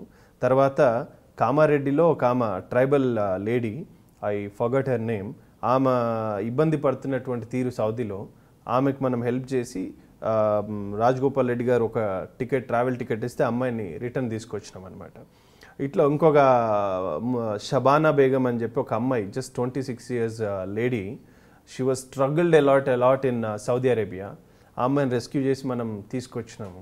షబానా బేగం షీజ్ ఫ్రమ్ సనత్ నగర్ అనమాట నిన్న కూడా మాట్లాడింది నాకేమైనా సార్ నేను హాలత్ బాగాలేదు నాకేమైనా ప్రభుత్వం నుంచి హెల్ప్ చేపియండి అది ఇది అని అంటే నేను చెప్పినామా? మనలాంటి పేదోళ్ళకి ఏం చేయదు ఈ ప్రభుత్వము. ఏదన్నా హంగామా హంగామా చేసేటోళ్ళకే సాయం చేస్తుంది కానీ మీలాంటి వాళ్ళకి ఏం చేయదు. బట్ ఇంకా మనం కూడా కొట్లాడదాం. తప్పకుండా న్యాయం జరిగేలాగా చేద్దామని చెప్పేసి. We we helped lot. Sara Begum అని వాళ్ళ మదర్ ఖతార్లో ఒక ఏజెంట్ లేడీ ఏజెంట్ చేతిలో మోసపోతే ఆమెకు బిగ్ బ్యాంగ్ ఇచ్చేసి అమ్మాయిని రిటర్న్ తీసుకొచ్చిన వాళ్ళ తల్లిని. So we helped a lot we're supporting a lot but one thing మన ఐ డ్రీమ్ ద్వారా నేను కూడా ఏం కోరుతున్నానంటే ఈ హౌస్ మేడ్గా వెళ్ళేటటువంటి వాళ్ళని. మంచి కం మంచి హౌస్లోకి ఎవరైతే అక్కడ సెక్యూర్గా సెక్యూరిటీ పరంగా చాలా మంచి హౌజెస్ ఉంటాయండి. మనం అంటే జరిగిన నాలుగు ఇష్యూస్ ఒక ఐదు ఇష్యూస్ని చూపించేసి మనం ఆపడానికి కూడా ఏం లేదు వాస్తవంగా. చాలామంది మంచి సెటిల్ అయిన వాళ్ళు ఉన్నారు. వాళ్ళు కూడా చాలా కైండ్ హార్టెడ్గా చూసుకునే ఫ్యామిలీస్ ఉన్నాయి గల్ఫ్లో. వాళ్ళు వీళ్ళు తిరిగి వచ్చినప్పుడు కూడా పాపం వాళ్ళ ఫ్యామిలీ నుంచి ఒకరు వచ్చి వాళ్ళ ఏరియాకి వచ్చి డ్రాప్ చేసి వాళ్ళ కుటుంబాలకి ఆర్థిక సాయం చేసినటువంటి చరిత్ర గల్ఫ్ ఫ్యామిలీస్కి ఉంది. కాకపోతే ఇన్సిడెంట్స్ అనేవి ఎక్కడ జరుగుతున్నాయి అంటే వీళ్ళు ఒక ఒక స్పాన్సర్ వీసాలోకి వచ్చి ఇంకో స్పాన్సర్ వీసాకి వెళ్ళిపోయి ఈ ఇంట్లో ఇప్పుడు ఆయన ఇచ్చిన వీసాలతోనే పని చేయాలి. అక్కడ పని చేయరు ఇంకో దగ్గర వెళ్ళి పని చేస్తారు. వాళ్ళు అక్కడే వాళ్ళ అకామిడేషన్ ఇచ్చినప్పుడు అక్కడే ఉండి పని చేస్తే బాగుంటుంది. వీళ్ళు ఎక్కువ వచ్చి బయట ఉంటారు ఎక్కడో ఆన్ టైంకి వెళ్ళరు. ఇట్లాంటి హెరాస్మెంట్స్ జనరల్గా ఉంటాయి. అంటే ఏ కంపెనీలో చేసిన టైంకి ఒక పెద్ద బాస్ అంటాడు. సో అదే తరహాలో ఉంటాయి. కొన్ని ఎక్కడో ఒక చోట జరిగిన సంఘటనలు కూడా ఉన్నాయి. అది కొద్దిగా దురదృష్టకరమే. కానీ అట్లాంటి వాటిలో జాగ్రత్తగా ఉండాలి. నచ్చకపోతే తిరిగి వచ్చేసేయాలి వీళ్ళు. అదొక్కటి మాత్రం ఇమ్మీడియట్గా మనలాంటి సంస్థల్ని ఎవరిని అప్రోచ్ అయినా లేదా ప్రభుత్వాలను అప్రోచ్ అయినా కూడా ఇమ్మీడియట్గా వాళ్ళు ఆ సపోర్ట్ని ఎక్స్టెండ్ చేస్తారు తప్పకుండా. వాళ్ళు అదొక్కటి చూసుకోవాలని చెప్పి నేను మన ద్వారా కోరుతున్నాను నేను. అంటే మీ సంస్థ కేవలం తెలంగాణ నుంచి గల్ఫ్ కంట్రీస్ పోయిండే బాధితులకి ఈ రకమైన సహాయము సహకారం అందిస్తుందా? లేదా తెలుగు రాష్ట్రాలకు సంబంధించి అటు ఆంధ్రప్రదేశ్ కానీ ఎవరు అడిగినా కూడా ఈ సహకారం అందిస్తారా? Irrespective of language states colour creed అండి అందరికీ చేస్తున్నాం. మొన్న నేను మలేషియా వెళ్తే శ్రీకాకుళం వాళ్ళకి. మెజారిటీ ఆఫ్ ది పీపుల్ శ్రీకాకుళమే అక్కడ. నేను వాళ్ళు చాలా హ్యాపీగా ఫీల్ అయినారనమాట నాకు రోజు టచ్లో కూడా ఉన్నారు. సార్ మీరు రావటంతో అంటే నేను వెళ్ళి ఏం చేశాను లక్కీగా అంటే ఫేస్బుక్ లైవ్ పెట్టాం. ఫలానా ఏరియా నుంచి ఫలానా వాళ్ళని మనం రెస్క్యూ చేసాం సో ఇట్లా ఉంది. మీరు కూడా ఎవరైనా అని చెప్పేసి నేను ఒక నంబర్ పెడితే దాదాపు ఆ వీడియో ఒక అరవై వేల మంది చూస్తున్నారు ఆ సేమ్ డేనే. చాలామంది కాంటాక్ట్ అయ్యారు. నేను వచ్చే తరహాలో నా ఫ్రెండ్ శాంతికి నేను ఇచ్చేస్తే నెక్స్ట్ లెవెల్లో Shanti she took forward all the cases. I commission దగ్గరికి వెళ్ళాము మాట్లాడాము చాలా చాలా హెల్ప్ చేశాం. అట్లనే ప్రతి చోట కూడా ప్రతి ఏరియాలో కూడా మనం ఎప్పుడు కూడా రెస్ట్రిక్ట్ చేసుకోలేదు. ఒక తెలంగాణ అనేది ఎందుకు పెట్టినామంటే ఒక ఐడెంటిఫికేషన్ జియోగ్రఫికల్గా ఇది ఫలానా స్టేట్లో ఉంది. ఒక బేస్ అనడానికి మాత్రమే అది తెలంగాణ గల్ఫ్ వర్కర్స్ అని పెట్టాము. బట్ వీఆర్ ఎక్స్టెండింగ్ సర్వీస్ అండి to every corner for every region religion everything అండి. సో ఇప్పుడు అరబ్ ఎమిరేట్స్ ఆమ్నెస్టీ అంటే క్షమాభిక్ష అనేది లేటెస్ట్ అనౌన్స్ చేస్తున్నారు. అసలు ఆమ్నెస్టీ అంటే ఏంది? దీనివల్ల అక్కడ ఉండే గల్ఫ్ బాధితులకి ఏ రకమైన సహకారం అందుతుంది? దాన్ని ఎట్లా అసలు ప్రాసెసింగ్ సిస్టమే చాలా మందికి తెలియదు. అవును. ఇది చదువుకున్న వాళ్ళకు కూడా. ఎట్లా అప్రోచ్ కావాలా? ఎవరిని అప్రోచ్ కావాలా? అసలు ఈ గడువు ఏంది అనేది. అంటే మీ తరపున కానీ గవర్నమెంట్ తరపున కానీ ఏదైనా ఇవి జనానికి వాళ్ళకి చైతన్యం కల్పించేది అవగాహన కల్పించే కార్యక్రమాలు ఏమన్నా నడుపుతున్నారు? అసలు ఆమ్నెస్ట్ అంటే ఏంది? ఆమ్నెస్టీ అంటే క్షమాభిక్ష పథకం అంటాం దీని జనరల్గా. ఇది పథకం కూడా కాదు ఒక క్షమాభిక్ష యాక్ట్ గవర్నమెంట్ రిలీజ్ చేసేది అనమాట ఇది. దీన్ని ఏమంటున్నామంటే మన వాళ్ళు జనరల్గా మన కార్మికులు అనుకునేది ఏంటంటే అవుట్ పెట్టిర్రు అవుట్ పెట్టిర్రు అంటుంటారు. అవుట్ పెట్టిర్రు అంటే బయటికి వెళ్ళిపోయేదాన్ని అవుట్ అంటే వాళ్ళ భాషలో చెప్పుకోవాలంటే అవుట్ పెట్టింది ఈ దేశం అని చెప్పేసి అంటారు అనమాట ఈ క్షమాభిక్ష ఏంటంటే వీసా వైలేటర్ లేకపోతే one country to one country without visa entry ఇచ్చినటువంటి వాళ్ళు. ఇప్పుడు లెట్స్ ఎగ్జాంపుల్ దుబాయ్ ఉందనుకోండి. దుబాయ్కి ఒమాన్ నుంచి ఇల్లీగల్గా వచ్చేస్తారు. వీసాలు లేకుండా వచ్చేసి ఈ కంట్రీలో సెట్ అయిపోతుంటారు కానీ నాకు లోకల్ ఐడెంటిఫికేషన్ ఏముండదు వీసా ఉండదు లోకల్ ఎమిరేట్ కార్డు ఉండదు ఏముండదు ఇలాంటి వాళ్ళు తప్పు చేసినటువంటి వాళ్ళకు ఇప్పుడు నామినల్ ఫైజ్తో ఈ స్కీమ్లో ఈ ఆమ్నెస్టీ స్కీమ్లో వీళ్ళు ఈజీగా రావడానికి ఉంటుంది అనమాట నార్మల్గా ఇప్పుడు ఒమాన్ నుంచి దుబాయ్కి వచ్చినటువంటి వ్యక్తికి రెండు వందల ఇరవై ఎనిమిది ధిరమ్స్ అంటే దాదాపుగా ఒక ఆరు వేల రూపాయల ఫైన్తో రెండేళ్ళు ట్రావెల్ బ్యాన్ చేస్తాడు. ఆ వీసా తీసుకొని ఆయన ఆ అప్రూవల్ తీసుకొని ఎంబసీకి పోతే అవుట్ పాస్ ఇస్తారు. ఈసీ అని చెప్పి ఉంటుంది అది ఇచ్చినప్పుడు వచ్చేస్తాడు. వచ్చిన తర్వాత టూ ఇయర్స్ ఈయనకి ఏం చేస్తారు? ఈయన పాస్పోర్ట్ నంబరు ఈయన పేరు మీద రెండేళ్ళ వరకు ఈయన మళ్ళీ దుబాయ్ దేశానికి రావడానికి వీలు లేదు అని చెప్పేసి వేస్తాడు అనమాట అది ఎవరు? కంట్రీ టు వన్ కంట్రీ వచ్చినాడు వీసా లేకుండా వచ్చినటువంటి. వీసా తీసుకొని విజిట్ వీసాల్లో వెళ్ళినటువంటి వాళ్ళు మళ్ళీ స్టాంపింగ్ కొట్టుకొని రెగ్యులర్ వీసాకి ఎంప్లాయ్ వీసాకి పోనటువంటి వాళ్ళకు ఒక నాలుగు వేల రూపాయలతో నాలుగు వేల రూపాయల నామినల్ ఫైన్తోన వీళ్ళు వచ్చేసి మళ్ళీ కొత్త స్పాన్సర్షిప్ వీసా తీసుకొని వెళ్ళిపోవచ్చు అనమాట వెంటనే వెళ్ళొచ్చు. అదొక అవకాశం. లేదు అని అంటే సొంతంగా మళ్ళీ ఎంప్లాయర్ని వెతుక్కొని అక్కడే దుబాయ్లోనే ఆ వీసాని ఒక పదివేల రూపాయలు ఫైన్ కడితే లోకల్గా మళ్ళీ నీ వీసా రెగ్యులరైజ్ చేసుకోవచ్చు నీ స్టేటస్ని. ఆ అవకాశం కూడా ఇచ్చింది. దిస్ ఈజ్ వండర్ఫుల్ ఆపర్చునిటీ యాక్చువల్గా ఇప్పుడు నేను నాకు వీసా లేదు. నేను ఒక స్పాన్సర్ని వెతుకొని సార్ నాకు వీసా కావాలి నీ కంపెనీలో పనిచేస్తా అంటే పదివేల రూపాయలు నేను ప్రభుత్వానికి ఫీజు కట్టాలి. అది ఫైన్ కట్టాలి. నా ఫైన్. నేను కట్టుకుంటే ఆయన నాకు వీసా స్పాన్సర్షిప్ లెటర్ ఇస్తాడు. నేను సో అండ్ సో దేవేందర్ రెడ్డికి నేను వీసా ఇస్తున్నాను అనే లెటర్ ఇస్తే దాన్ని తీసుకొచ్చి ఎంబసీలో అప్లై చేసుకోవచ్చు. ఎంబసీ ఎన్ఓసి ఇచ్చేస్తే దాన్ని బట్టి మొత్తం మళ్ళీ వీసా స్పాన్సర్ని వీసా అప్లై చేసుకుంటారు. ఆ వీసా వచ్చినప్పుడు నేను రెగ్యులర్ అయిపోతాను అక్కడ. ఇప్పుడు సో ఆ, అయితే దీంట్లో మీరు అన్నారు కదా ఇందాక దీని మీద అవేర్నెస్ లేదు. వాస్తవంగా ఇది అవేర్నెస్ ఉండదు. ఎందుకు అని అంటే పాపం చాలామంది వీ- ఈ వాట్సాప్లు ఫేస్బుక్లు కొంతమంది చూడరు. ఎక్కడో కార్నర్లో ఉంటారు. వాళ్ళు ఇంగ్లీష్ పేపర్లలో చదవరు. సో ఇట్లాంటి వాళ్ళకు కూడా నేను మొన్న క్యాంప్స్ అక్కడక్కడ తిరిగి మొత్తం అక్కడ ఉన్నటువంటి టీము వాళ్ళతో అందరం తిరిగాం కలిసి. తిరిగినప్పుడు అవగాహన తీసుకొచ్చాం. ఇప్పుడు రెగ్యులర్గా ఉన్న కార్మికుడికి అయితే తెలిస్తే ఆయనతో టచ్లో ఉంటాడు ఆ ఇర్రెగ్యులర్ మైగ్రెంట్ వాళ్ళ ఊరు కావచ్చు ఆ ప్రాంతం ఆ సంబంధిత జియోగ్రాఫికల్గా ఉన్నటువంటి వ్యక్తితో ఉంటాడు. ఈయన ఆ అవకాశాన్ని అవతలలోకి చెప్తాడు. అరే అవుట్ పెట్టిందిరా దుబాయ్ దేశం నువ్వు వెళ్ళిపో. లేదంటే మళ్ళీ నువ్వు అరబాబుని పట్టుకొని నువ్వు వీసా తెచ్చుకో అని చెప్పేసి చెప్తాడనమాట సో ఈ అవకాశం ఉంటుందని ఫస్ట్ ఎడ్యుకేట్ ది ఎడ్యుకేటెడ్ అనేది కాన్సెప్ట్తోన ఫస్ట్ మన వాళ్ళకి తెలియాలి. చదువుకున్న వాళ్ళకు రెగ్యులర్గా ఉన్న వాళ్ళకి తెలియాలని. నేను ఒక ట్వెల్వ్ డేస్ అక్కడ ఉండి ఆల్మోస్ట్ అన్ని ఏరియాస్ వ్యక్తుల్ని పరిచయం చేసాం తర్వాత పేపర్ ద్వారా అక్కడ ఇక్కడ వాట్సాప్లో ఫేస్బుక్లో కూడా దీన్ని బాగా వైరల్ చేయిస్తున్నాం అనమాట నేను మళ్ళీ మీ ద్వారా కూడా నేను కోరుతున్నాను ఐ డ్రీమ్ ద్వారా ఈ యొక్క పర్టికులర్ ఈ దుబాయ్ ఆమ్నెస్టీ. యాక్చువల్గా దుబాయ్ ఆమ్నెస్టీ కాదు ఇది UAE amnesty United Arab Emirates. ఇది సెవెన్ ఎమిరేట్స్ ఉంటాయి మొత్తం. యాక్చువల్గా దుబాయ్ దేశం అనుకుంటారు కానీ Dubai is the only city corporate city అన్నమాట అది. సో అందరికి ఏంటంటే యుఏఈ అంటే కన్ఫ్యూజ్ అయిపోతుంటారు. సో స్టేట్స్ అన్ని కలిపి అన్ని ఆ ఏడు సెవెన్ ఎమిరేట్స్ కలిపి యూఏఈ అవుతుంది ఇది యాక్చువల్గా అయితే ఈ యుఏఈలో ఉన్నటువంటి ఈ అవకాశాన్ని రేపు వచ్చే August first to thirty first of October వరకు ఈ ఆమ్నెస్టీ ఉంది. ఈ దీన్ని మన ఐడ్రీమ్ ద్వారా కూడా అందరికి అవగాహన వచ్చేలాగా.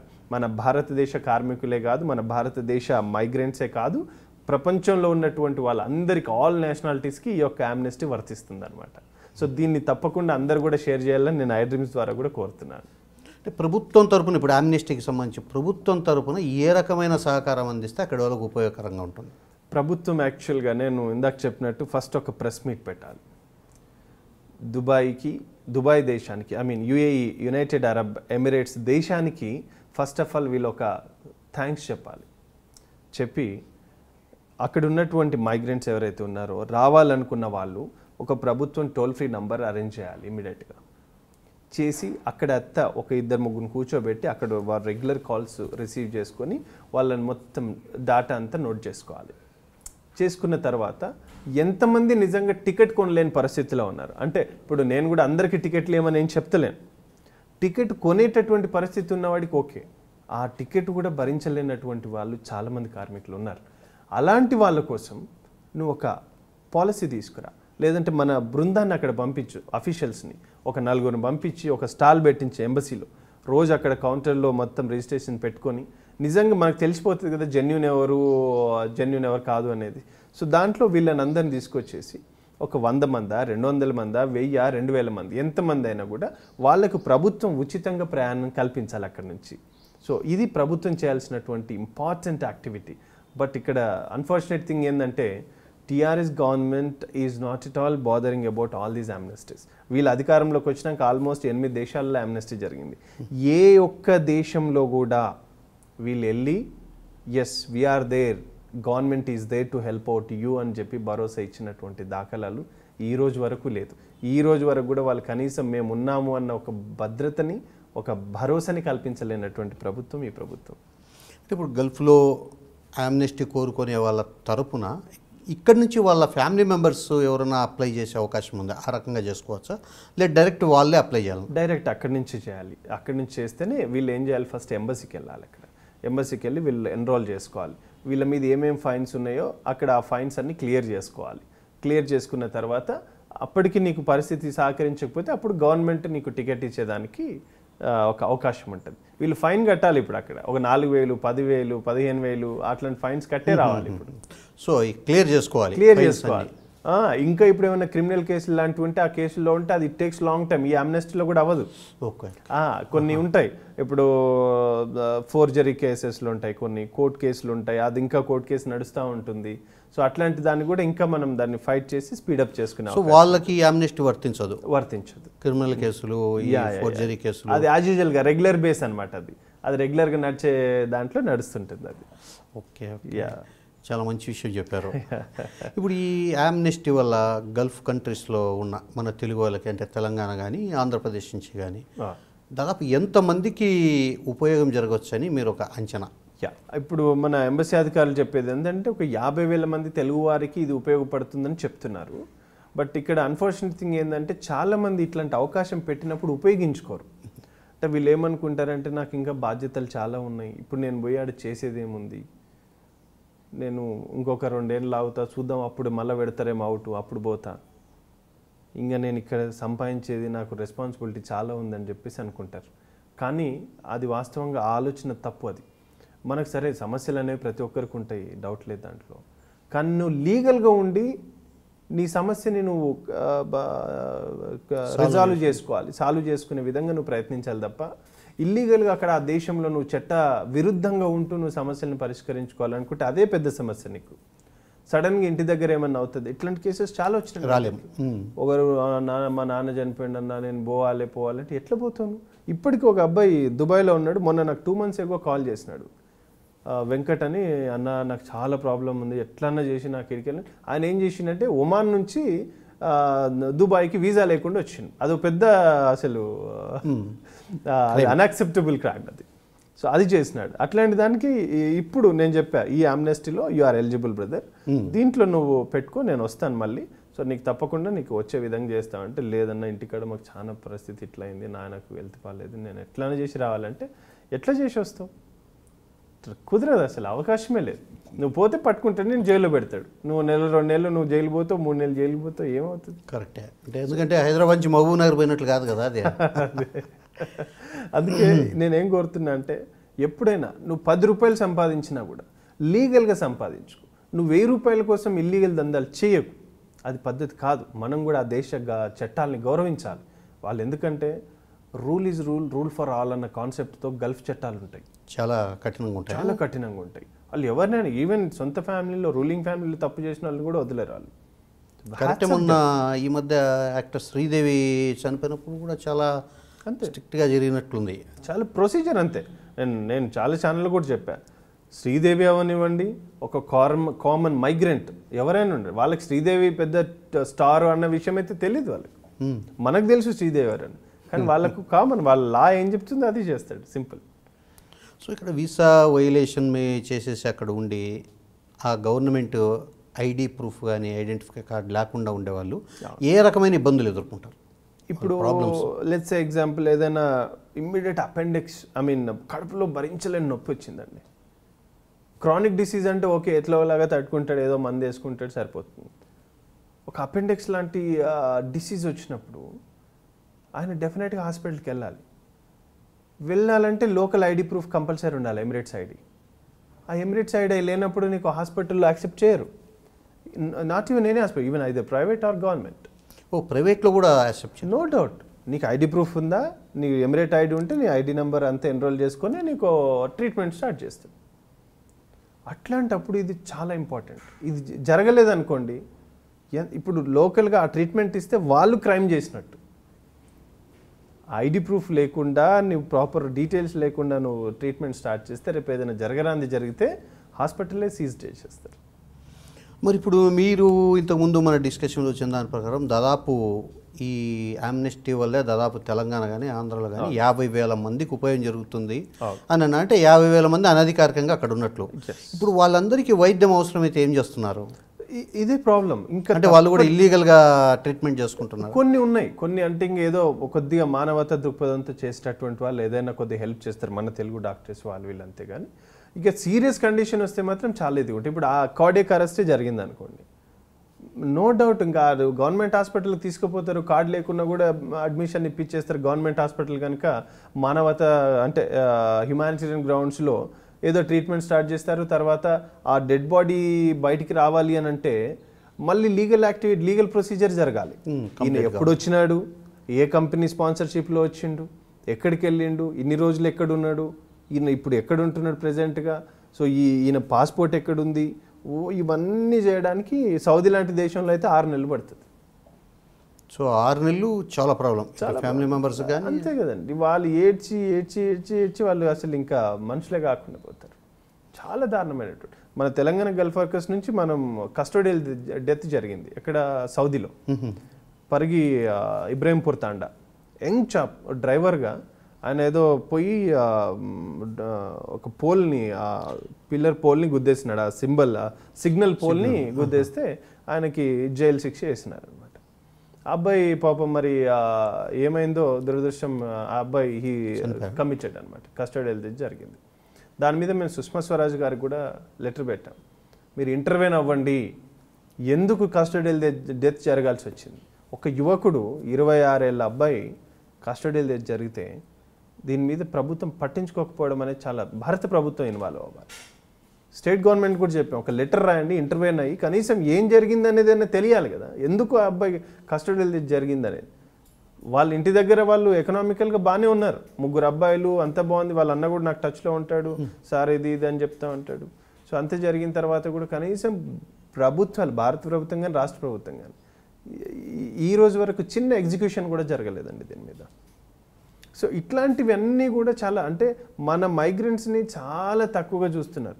మీరు అంతెందుకు మన భారతదేశంలో ఉన్నటువంటి కేరళ దే రాష్ట్రమే ఈరోజు వాళ్ళకి ఏదైనా జరిగిందంటే ఆగ మేఘాల మీద మొత్తం అధికారులంతా మెకానిజం అంతా అలర్ట్ అవుతుంది గవర్నమెంట్ మెకానిజం మొత్తం వర్కౌట్ చేస్తుంది. ఈరోజు మన వాళ్ళు ఎందుకు ఇంత దారుణంగా చూసుకుంటున్నారు? అంటే మన వాళ్ళు మైగ్రెంట్స్ మన వాళ్ళు అంటే రిటర్న్స్ పంపిస్తలేరా? లేకపోతే రెమిటెన్స్ జరుగుతలేవా? మనవాడు కాదని ఏమైనా డిక్లేర్ చేస్తున్నాడా? లేకపోతే దేశం విడిచి నాది భారతదేశం కాదని చెప్పేసి వెళ్ళిపోతున్నాడా? మనం భారతదేశ పౌరులమే బతకడానికి పోయినాము బాగా బతకడానికి పోయినాము. సో దానికి కూడా ఏమైనా జరగడానికి జరిగితే ప్రభుత్వం పట్టించుకోవాల్సిన చోట పట్టించుకోకపోతే మాలాంటి సంస్థలు మనం ఏం చేస్తాం? జనరల్ ఇప్పుడు మేము అపోజిషన్లో ఉన్నాం పార్టీ పరంగా చెప్తే మనం ఏం చేస్తాం ఎంతవరకు కొట్లాడతాం మీరు అన్నట్టు గట్టిగా రెండు మాటలు అంటాము చేస్తాము లేకపోతే ఇంకా ఫాలో అప్ చేస్తాం ఇది చేస్తాం. కానీ అల్టిమేట్గా న్యాయం జరగాల్సింది ప్రభుత్వం ద్వారానే కదా రూలింగ్ గవర్నమెంట్ ద్వారానే జరగాలి. చనిపోయిన కుటుంబాలకు న్యాయం జరగాలన్నా ఇప్పుడు ఆమ్నెస్టీకి న్యాయం జరగాలన్నా ఇప్పుడు మేము ఎవరం పెడతాం? మన కువైట్ ఆమ్నెస్టీకి ముప్పై ఐదు టికెట్లు మేము మన పార్టీ ద్వారా ఇచ్చాం కాంగ్రెస్ పార్టీ నుంచి. టీఆర్ఎస్ ప్రభుత్వం తెలంగాణ ప్రభుత్వం నుంచి ఒక్క టికెట్ కొనియలేదండి ఇది రికార్డ్ ఇది.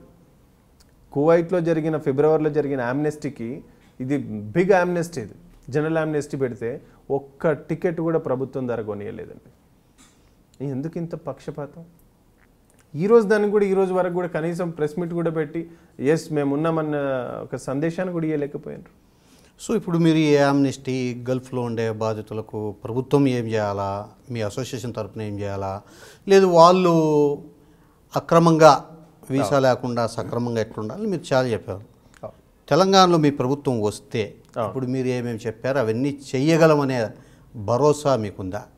కాన్ఫిడెంట్గా చెప్పగలుగుతారా? డెఫినెట్గా అండి. నేను కాంగ్రెస్ పార్టీలోకి రావటమే ఈ యొక్క పాలసీ డిజైనింగ్ మేకింగ్తోనే వచ్చాం. మేము ఆల్రెడీ మా చీఫ్ ఉత్తమ్ కుమార్ రెడ్డి గారు కూడా ఒకరోజు ఎగ్జిబిషన్ గ్రౌండ్లో ఒక మీటింగ్ పెట్టి ఆల్ పార్టీ మీటింగ్ పెట్టాం. అన్ని పార్టీస్ నుంచి పిలిచినాం. పిలిచి మనం డిక్లేర్ చేసినాం. వెయ్యి కోట్లతో రేపు మనం అధికారంలోకి వస్తే గల్ పాలసీ తీసుకొస్తామని చెప్పినాం. ఇక్కడి నుంచి వెళ్ళే మైగ్రెంటు హాస్పిటల్కి ఏదైతే మెడికల్ చేసుకుంటాడో ఏడు వేల రూపాయలు అవుతుంది. ఒక్కొక్క దేశానికి ఒక్కొక్క ఫీజు ఉంటుంది. Up to seven thousand is maximum ఆ ఏడు వేల రూపాయలను కూడా మన ప్రభుత్వమే భరిస్తుందని చెప్పినాం. స్కిల్డ్ సెమీ స్కిల్డ్ వాళ్ళు ఒకవేళ అక్కడే ఒక పదేళ్ళు పనిచేసి పదేళ్ళ పాటు ఉన్నటువంటి తిరిగి వచ్చినటువంటి వాళ్ళకు మన ప్రభుత్వం వాళ్ళకు ఒక ఎస్ఎంఈ బేస్ కింద అంటే వాళ్ళకి ఒక స్మాల్ స్కేల్ ఇండస్ట్రీ డెవలప్ చేసుకోవడానికి పది లక్షల రూపాయలు మనం వాళ్ళకి ఆర్థిక సాయం చేసి వాళ్ళతో సొంతంగా ఒక టెక్నికల్ ఇన్స్టిట్యూట్ టైప్ పెట్టిస్తామని కూడా చెప్పినాం. చనిపోయిన ప్రతి కుటుంబానికి పది లక్షల రూపాయలు ఎక్స్గ్రేషియా ఇస్తామని చెప్పినాం. అంటే ఇవన్నీ ప్రాక్టికల్గా సాధ్యమవుతాయని మీరు ప్రాక్టికల్గా అంచనా వేసి చెప్పారు? లేదంటే మీది కూడా టీఆర్ఎస్ మాదిరో టీడీపీ మాదిరో బీజేపీ మాదిరో మీది కూడా ఒక పొలిటికల్ పార్టీనే? త్వరలో ఎలక్షన్స్ రాబోతున్నాయి. దాన్ని దృష్టిలో పెట్టుకొని చెప్పాలి కాబట్టి చెప్పాను. లేదండి నేను ఇందాక మీకు నేను ఇవన్నీ చెప్పకముందే మీకు ఒక స్టాట్స్ చెప్పాను. వెయ్యి కోట్ల రూపాయల రెమిటెన్స్ ఈరోజు రాష్ట్ర ప్రభుత్వానికి వస్తుంది. వచ్చిన వెయ్యి కోట్లు అయితే ఎవరు పెట్టెలో పెట్టుకోరు బీరువాలో పెట్టుకోరు. ఆ వెయ్యి కోట్ల రూపాయలను అయితే ఖర్చు చేయాలి. ఖర్చు చేసినప్పుడు వచ్చే ఏదైతే రాష్ట్రానికి ట్యాక్స్ రూపైనా వస్తుంది మరి ఆ ట్యాక్స్ రూపం అయితే ఎవరి ఇళ్ళకైతే పోదు. భారత ప్రభుత్వం వివిధ పథకాల మీద సంక్షేమ పథకాల మీద ఖర్చు పెడుతుంది. మరి ఈరోజు ఆరు వందల కోట్ల రూపాయలు సంవత్సరానికి గల్ఫ్ కార్మికులు పంపిస్తున్న డబ్బుల ద్వారా ఆదాయం వస్తున్నప్పుడు మేము ఇచ్చే ఐదు వందల కోట్ల రూపాయలు నామినల్ అది ఇయాల్టి వరకు రెండు వేల నాలుగు వందల కోట్ల రూపాయలు తెలంగాణ ప్రభుత్వానికి ఆదాయం వస్తే ఏ ఒక్క డిసీజ్డ్ ఫ్యామిలీకి అంటే చనిపోయిన కుటుంబానికి ఒక్క రూపాయి కూడా ఇవ్వలేదనంటే ఎంత దారుణం. వేరే ఏం చేయమనిలే చనిపోయిన కుటుంబానికి ఒక ఐదు లక్షలో పది లక్షలో రెండు లక్షలో కేస్ టు కేస్ బేసిస్ ఇవ్వమంటున్నాం. వాళ్ళ పరిస్థితులను బట్టి ఇవ్వమంటున్నాం. పోనీ పది లక్షల రూపాయలు ఇవ్వాలనేది ఏముంది? వాళ్ళకి ఎంతో కొంత రిలీఫ్ దొరుకుతుంది. ఎందుకంటే సంపాదించే వ్యక్తి కుటుంబంలో దూరమైనప్పుడు చాలా సమస్యలు చెప్పలేని వర్ణనాతీతం అండి అసలు అది చాలా దారుణమైన అంటే ఈ పరిస్థితులు వాళ్ళకు కనిపించట్లే. మేము ప్రతిదీ కూడా అంటే ఊరికే బ్లైండ్గా చెప్పలే. నేను కూడా ఉత్తమ్ కుమార్ రెడ్డి సార్తో చాలాసార్లు చెప్పిన సార్ మనం ఈ రకంగా చేస్తే బాగుంటుంది. మేము అందరం కూడా గ్రూప్ ఆఫ్ పీపుల్ సో డెప్త్గా మీరు స్టడీ చేసిన తర్వాతే మీ పాలసీ ఇది ఈ రకంగా తయారు చేయాలని ఒక నిర్ణయానికి వచ్చారు. ఎస్ తొందరలో కూడా ఈ పాలసీని నేను ఇక్కడ కాదు ఈ హైదరాబాద్లో తెలంగాణలో కాదు. మేము పెట్టబోయే పాలసీని ఇదే యుఏఈ అరబ్ ఎమిరేట్స్లో యునైటెడ్ అరబ్ ఎమిరేట్స్లో మేము ఒక నాలుగైదు వేల మంది కార్మికుల సమక్షంలో మా ఉత్తమ్ కుమార్ రెడ్డి గారిని మేము అక్కడ తీసుకెళ్ళి ఈ పాలసీని మేము అక్కడ అఫీషియల్గా చీఫ్తో మేము అనౌన్స్ చేపిస్తాం. అక్కడ నుంచి చేస్తారా అక్కడ నుంచి చెప్పి ఎక్కడ సమస్య ఉందో ఎక్కడైతే భరోసా కల్పించాలనో ఆ ప్రదేశంలో నుంచే మేము ఈరోజు ఈ భరోసా కల్పిస్తాం. నేను ఇక్కడ గురించి చెప్పడం కాదు మీరు రేపు ఇదే మళ్ళీ ఐ డ్రీమ్ ద్వారా మీరు అప్రిషియేట్ చేయాలి మీరు కూడా భాగం పంచుకోవాలి దీంట్లో. తప్పకుండా ఈరోజు చెప్పిన మాట రేపు నిజం చేస్తాం. కార్మికుడు ప్రతి కార్మికుడు గుండె ధైర్యంతో గుండె నిబ్బరంతో ప్రతి ఒక్కడు ఆనందంగా బతకాలి. అదే నిజమైనటువంటి తెలంగాణ. అప్పుడే నిజమైన బంగారు తెలంగాణ. ఇవాళ ఈరోజు ఇది ఇట్లాంటి ఇది కాదు. వీళ్ళ స్వార్థం కోసము కమిషన్ల కోసం చేసే ఈ ఇట్లాంటి స్కీమ్స్ కాదు. ఒక కన్ఫైన్డ్ ఒక కాంప్రహెన్సివ్ టైప్లో ఉండాలి. పాలసీ ఏది తీసుకొచ్చినా కూడా. ఆ తరహాలో చేస్తాం.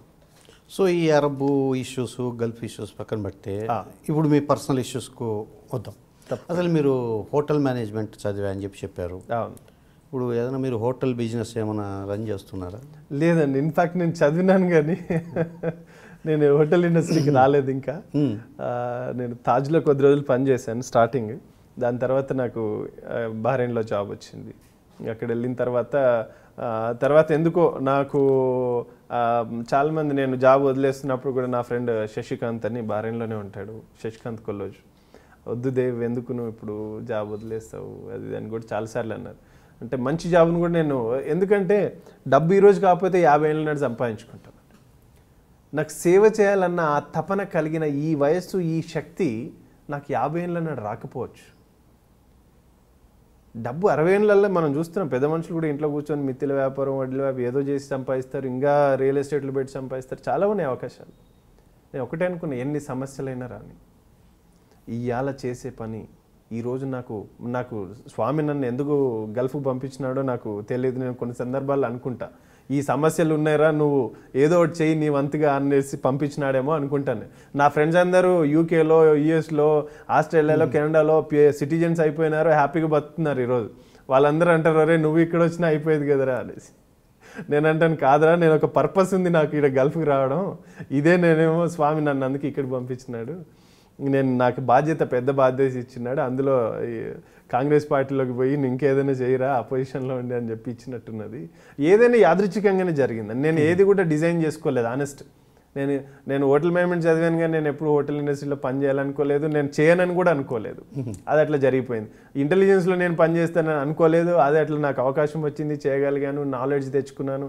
అంటే నాకు country law of the land గురించి తెలిసింది అసలు గల్ఫ్ అంటే ఏందనేది తెలిసింది. వాట్ ఈజ్ వాట్ అనేది నేను రియాల్ ఇంత కాన్ఫిడెంట్గా మాట్లాడుతున్నానంటే నేను పని చేయగలిగిన కనుకనే మాట్లాడుతున్నా. ఒక సమస్య గురించి చెప్తున్నానంటే అది ఫిజికల్గా నేను చూసిన కనుకనే చెప్పగలుగుతున్నాను సో ఇట్లాంటిది. సో ఇట్లా మన వైపు మనతోన ఎంత అయ్యేది ఉంటే అంత చేద్దాం. ఎన్ని సమస్యలైనా రాని మంచి పని కోసం ఎన్ని సమస్యలు వచ్చినా ఎదుర్కోవడానికి చాలా సిద్ధంగా ఆనందంగా ఎనర్జెటిక్గా ఉన్నాం అంతే. సో సేవ చేయాలంటే మీ ఎన్జిఓ తరపున కూడా చేయొచ్చు. మరి రాజకీయాలు ప్రత్యేకించి కాంగ్రెస్ పార్టీని ఎందుకు ఎంచుకోవాల్సి వచ్చింది? ఒకటి అంటే దీంట్లో పొలిటికల్ గోల్ కూడా మిక్స్ చేశారా ఈ సేవలో పాటు? ఎస్ ఎస్ ఎస్ అండి అంటే నువ్వు ఒకటేముందంటే ఇప్పుడు ఎన్జిఓ ద్వారా తెలంగాణ గల్ఫ్ వర్కర్స్ నుంచి మన గల్ఫ్ వాళ్ళకి ఒకసారి మా ఫ్రెండ్ ఇట్లా చనిపోయినాడు లేదా మా ఆయన చనిపోయినాడు అంటే ఆ డెడ్ బాడీ తెప్పియగలుగుతాము కోఆర్డినేట్ చేయగలుగుతాం అంతే చేయగలుగుతాం. ఇప్పుడు ఈ మూర్ఖంగా ఐదు వందల కోట్లతో పాలసీ తెస్తామన్నటువంటి ఈ విధానాన్ని మనం ఎన్జిఓ ద్వారా వ్యతిరేకించలేం. ఐ మీన్ క్వశ్చన్ చేయలేం గట్టిగా. ఎంతసేపు ఉన్న సాఫ్ట్ కార్నర్లో మనం ఏమంటాం? ప్రభుత్వాలు పట్టించుకోవాలి ప్రభుత్వాలు పట్టించుకోవాలంటాం. కానీ ఇట్లాంటి మొద్దు ప్రభుత్వాలు ఉంటే మనం ఏమంటాం? అది ఒక పొలిటికల్ ప్లాట్ఫామ్ ద్వారా మాత్రమే మన వాయిస్ని రేజ్ చేయగలుగుతాం.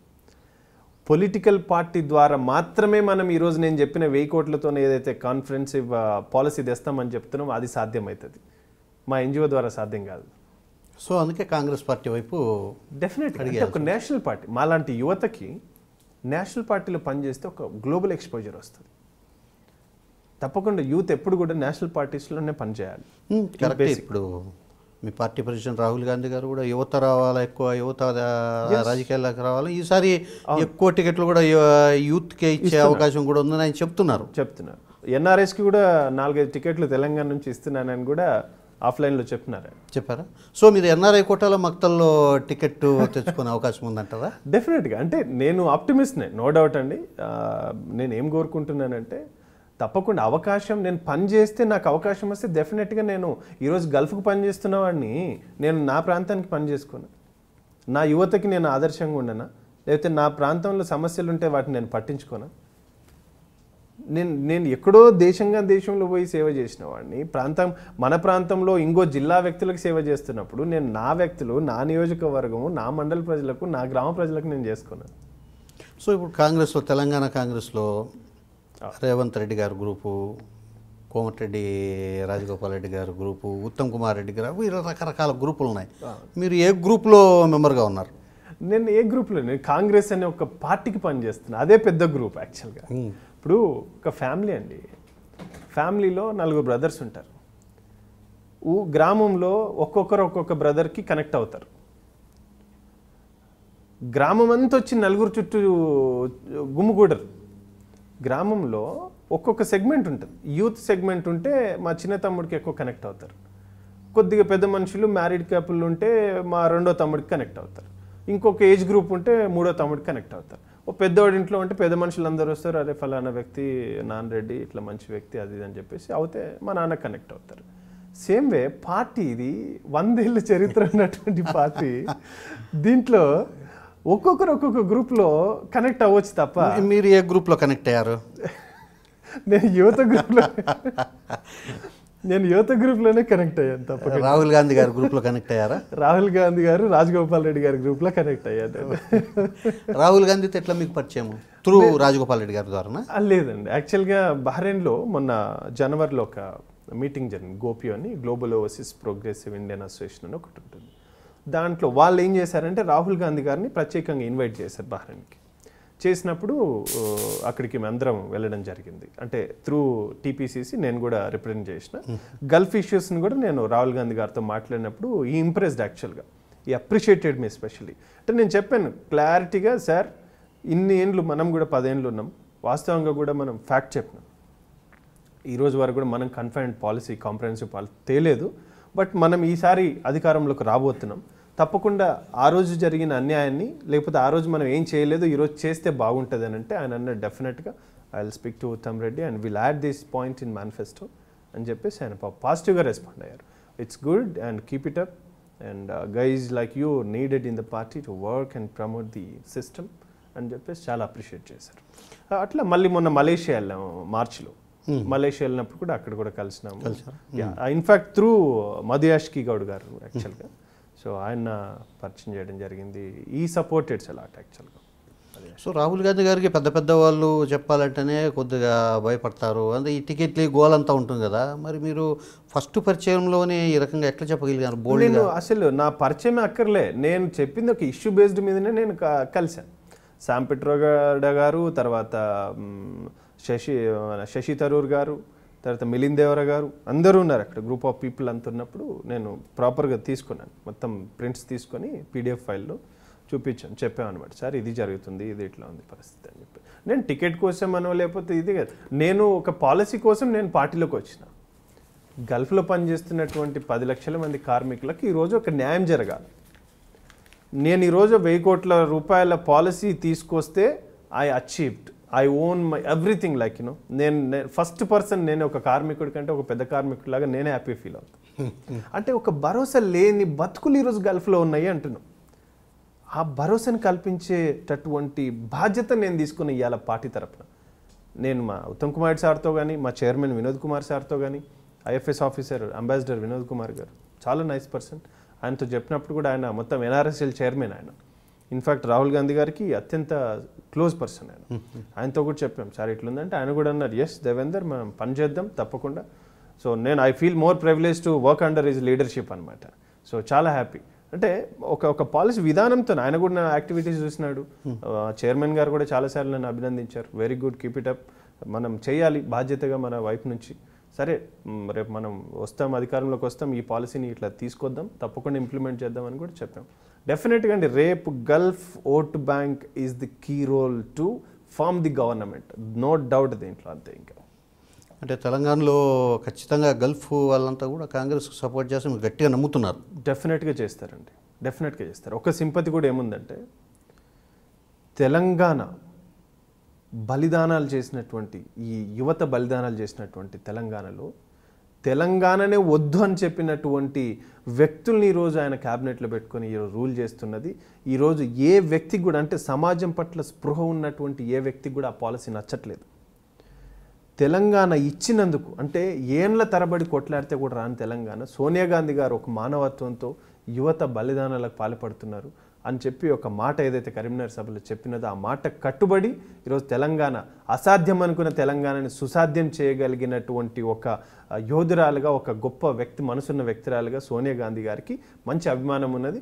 ఈసారి మనం అధికారంలోకి వచ్చి సోనియా గాంధీ గారికి గిఫ్ట్ ఇవ్వాలనేది ప్రతి ఒక్క వ్యక్తి తాపత్రయం ఈరోజు. సో అంటే ఇప్పుడు తెలంగాణ ఆత్మ బలిదానాల వల్ల మానవత్వంతో సోనియా గాంధీ గారు తెలంగాణ ఇచ్చారు అన్నట్టు సో అది ఒక పార్ట్ ఒక ఇష్యూ కావచ్చు కానీ మెయిన్ ఒక కాన్సెప్ట్ ఏమంటే ఆ రోజు ఉండే రాజకీయ పరిస్థితుల్లో వైఎస్ జగన్మోహన్ రెడ్డిని దెబ్బ కొట్టాలా? రాష్ట్రాన్ని రెండుగా చీల్చితే ఇక్కడ తెలంగాణలో జగన్మోహన్ రెడ్డి గారి దెబ్బ కొట్టచ్చు? అక్కడ ఆంధ్రప్రదేశ్లో కొట్టొచ్చిన ఒక పొలిటికల్ లబ్ధి కోసం ఇచ్చారనేది ఒక విమర్శ ఉంది. లేదండి. ఈరోజు వరకు అంటే ఆఫ్లైన్లో ఏం జరిగిందో మళ్ళీ తెలంగాణ మేమే ఇచ్చినప్పుడు జనం ఎందుకు మిమ్మల్ని ఆశీర్వదించలేకపోయారు? ఈ ఆశీర్వాదం కాదండి. ఈయన ఇప్పుడు దీని వెనకాల చాలా ఉన్నాయి. అంటే ఇక ఇది చెప్తే ఇది ఒక పెద్ద ఒడవని ముచ్చట వాస్తవంగా. ఈ కేసీఆర్ గారు వెళ్ళి ఎంటైర్ ఫ్యామిలీ వెళ్ళి మనం ఎన్నో ఫోటోలు కూడా చూసినాం. ఓకే నేను పార్టీ మెర్జ్ చేస్తా అని చెప్పారు. అది ఓకే. పార్టీ మెర్జ్ చేయకుండా మళ్ళా డిఫరెంట్గా టీఆర్ఎస్ టీఆర్ఎస్ ఎలక్షన్ పోయింది. మీరు మీరు వెళ్ళారు.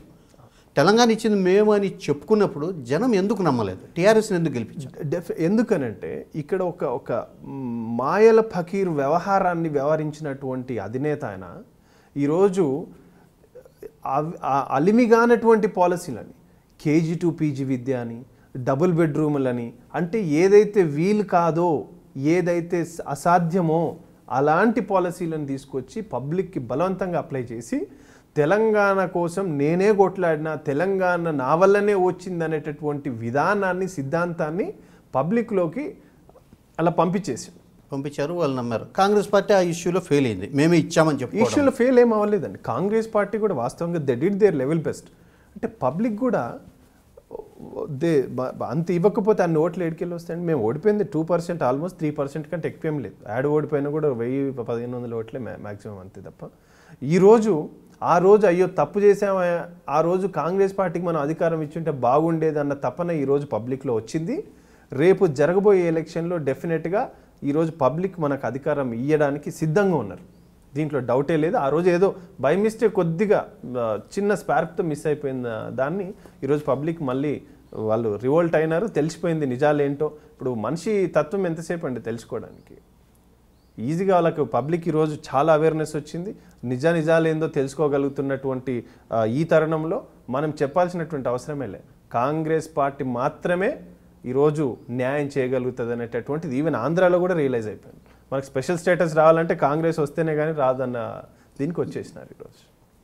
సో మీరు Telangana Congress committee NRSL convener ఎలా అయ్యారు? అంటే ఉత్తమ్ కుమార్ రెడ్డి గారు ఇప్పించారా? లేదు మీ మీరు కనెక్ట్ అయ్యారు కదా రాజగోపాల్ రెడ్డి గారు ఇప్పించారు? లేదు యాక్చువల్గా ఉత్తమ్ కుమార్ రెడ్డి గారే ఇచ్చారండి. అంటే నేను the permission of Rajagopal Reddy గారు నేను చెప్పాను అన్న నేను జాయిన్ అవుతున్నాను పార్టీలో. అంటే ఆయన కూడా ఓకే మంచి చేయాలి తప్పకుండా బాగా చేస్తే మంచిదే అని చెప్పేసి నన్ను యాక్చువల్గా కేఆర్ సురేష్ రెడ్డి గారు former speaker. Speaker former speaker నన్ను ఆయన నేను నన్- నా విధానాలు నచ్చి మందా భీమరెడ్డి గారు అని ఒక సివిల్ సొసైటీ సర్వెంట్ ఒక ఇరవై ముప్పై ఏళ్ళు మైగ్రేషన్ మీద అమోఘమైనటువంటి అనుభవం ఉన్న వ్యక్తి.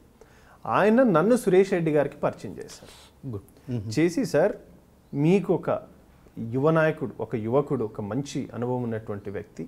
ఈ యువకుడైతే మీకు బాగుంటుంది బాగా పనిచేస్తాడు తిరుగుతాడు అని చెప్పేసి ఆయనకు పరిచయం చేస్తే సార్ కూడా చాలా పాజిటివ్గా ఒక రెండు గంటలు నాతో నా వివరాలు నా వ్యవహారాలు అన్నీ తెలుసుకొని ఆయన కూడా ఇంప్రెస్ అయిపోయి తర్వాత he took me to the same day he took me to the chief Uttam Kumar Reddy గారి ఉత్తమ్ కుమార్ రెడ్డి గారు రెండు నిమిషాల్లోనే నా గురించి విని ఇమ్మీడియట్గా బిఎం వినోద్ కుమార్ గారికి ఫోన్ చేశారు మా చైర్మన్ గారికి.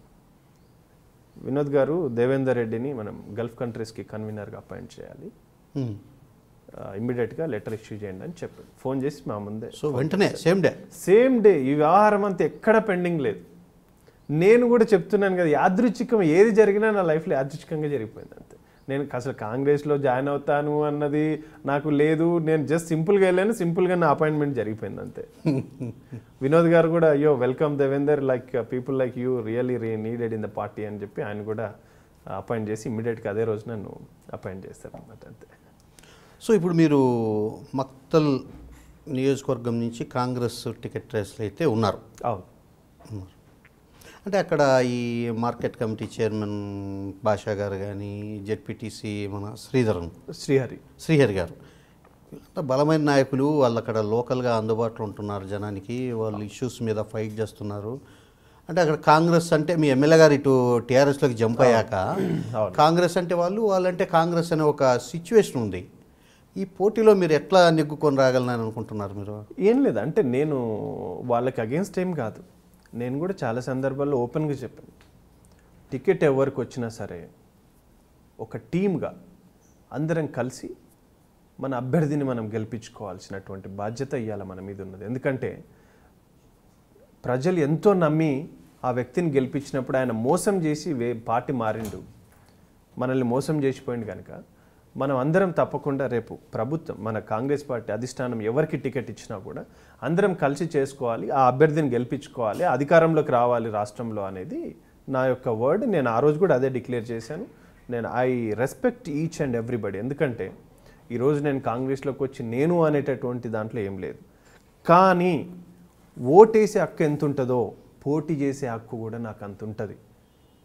Being an a citizen why don't I expect my ticket నేను కూడా పోటీలో ఉంటే తప్పకుండా.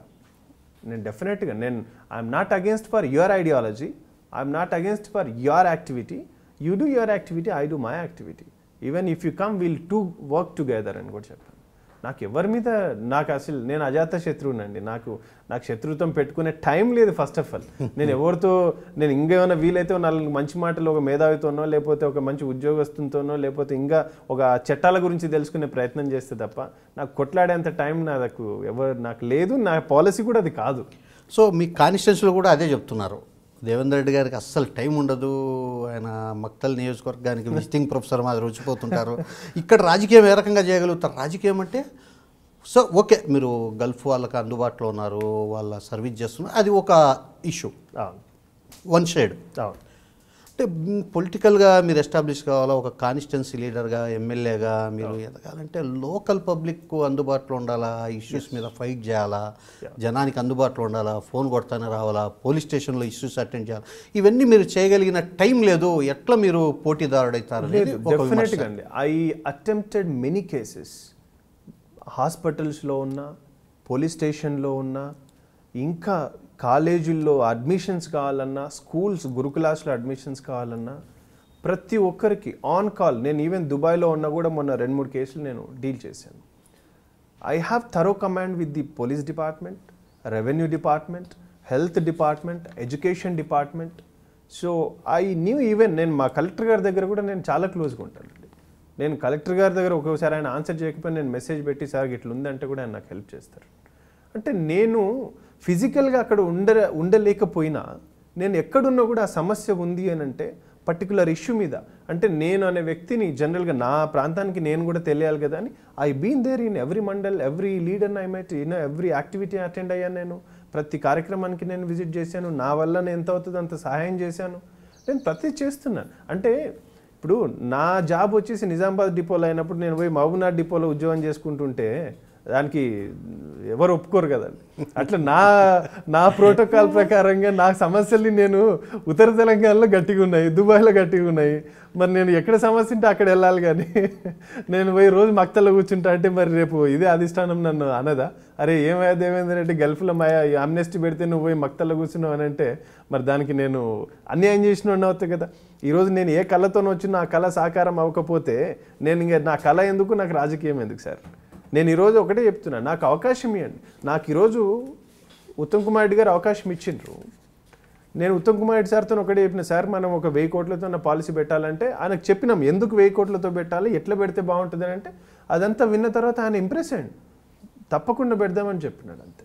సురేష్ రెడ్డి గారు నేను మా chief spokesperson Shravan Dasoju గారు మా చైర్మన్ గారు వినోద్ కుమార్ గారు ఇందాక సివిల్ సొసైటీస్ భీమ్ రెడ్డి గారు అందరం కూర్చొని ఒక కాంప్రహెన్సివ్ సిస్టంలో పాలసీ చేసినాం. మధు యాష్కి గౌడ్ గారితో చెప్పినామన్నా ఇట్లా ఉంది పాలసీ అంటే వెరీ గుడ్ దాన్ని మనం కంపల్సరీ చేద్దాం.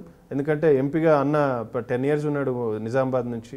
సో ఇప్పుడు మళ్ళీ అక్కడి నుంచి పోటీ చేస్తున్నాడు కనుక మైగ్రేషన్ ఎఫెక్ట్ చాలా ఉంటుంది. తప్పకుండా ఆయనకు మంచి ఫాలోయింగ్ ఉంది. పాస్పోర్ట్ ఆఫీసు నిజామాబాద్లో మధు యాష్కి గౌడ్ గారి ఆధ్వర్యంలో తీసుకొచ్చినారు. అక్కడ ఇవాళ నిజామాబాద్ మీరు ఏ కార్నర్ కనబోండి ప్రతి ఒక్కరి ఆధార్ కార్డు ఎట్లుంటుందో ప్రతి కుటుంబంలో పాస్పోర్ట్లు నాలుగు పాస్పోర్ట్లు ఉంటాయి. ఆ ఘనత మధు యాష్కి గౌడ్ గారికి దక్కుతుంది అది. సో అక్కడ మక్తల్ నియోజకవర్గానికి సంబంధించి డీసీఎంఎస్ చైర్మన్ నిజాం పాషా గారు కానీ జెడ్పీటీసీ సిఆర్ గారు కానీ మీతో వీళ్ళతో మంచి ఫ్రెండ్ రిలేషన్ మెయింటైన్ చేస్తున్నారు మీరు? ఉంది. అంటే ఇంకా నేను చాలాసార్లు కూడా నేను వాళ్ళకి పర్సనల్గా కూడా నేను ఫోన్లో టచ్లో ఉన్నాను చెప్పినాను. సార్ కాకపోతే కొద్దిగా ఉండొచ్చు. మైండ్లో ఇప్పుడు ఏంది పోయి నిన్న మొన్న మేమేమో పార్టీకి త్యాగాలు చేసినాము దండాలు పెట్టినాం జెండాలు మోసినాం అనే కాన్సెప్ట్ సహజంగానే ఉంటుంది ఎవరికైనా. ఇప్పుడు ఆల్ ఆఫ్ సడన్గా వాళ్ళు ఊహించని విధంగా నేను ఈరోజు తెర మీదకి వస్తే న్యాచురల్ అది. ఎవరికైనా కొద్ది ఉంటుంది బాధ అనేది ఉంటుంది. అయినా కూడా నేను I honour them I respect them ఎందుకంటే పార్టీ మారుతున్న క్రమంలో కూడా పాపం వాళ్ళకి చాలా ఆఫర్ చేసినా కూడా పార్టీని వదలలే. దాని రెస్పెక్ట్ నాకు చాలా ఉంది.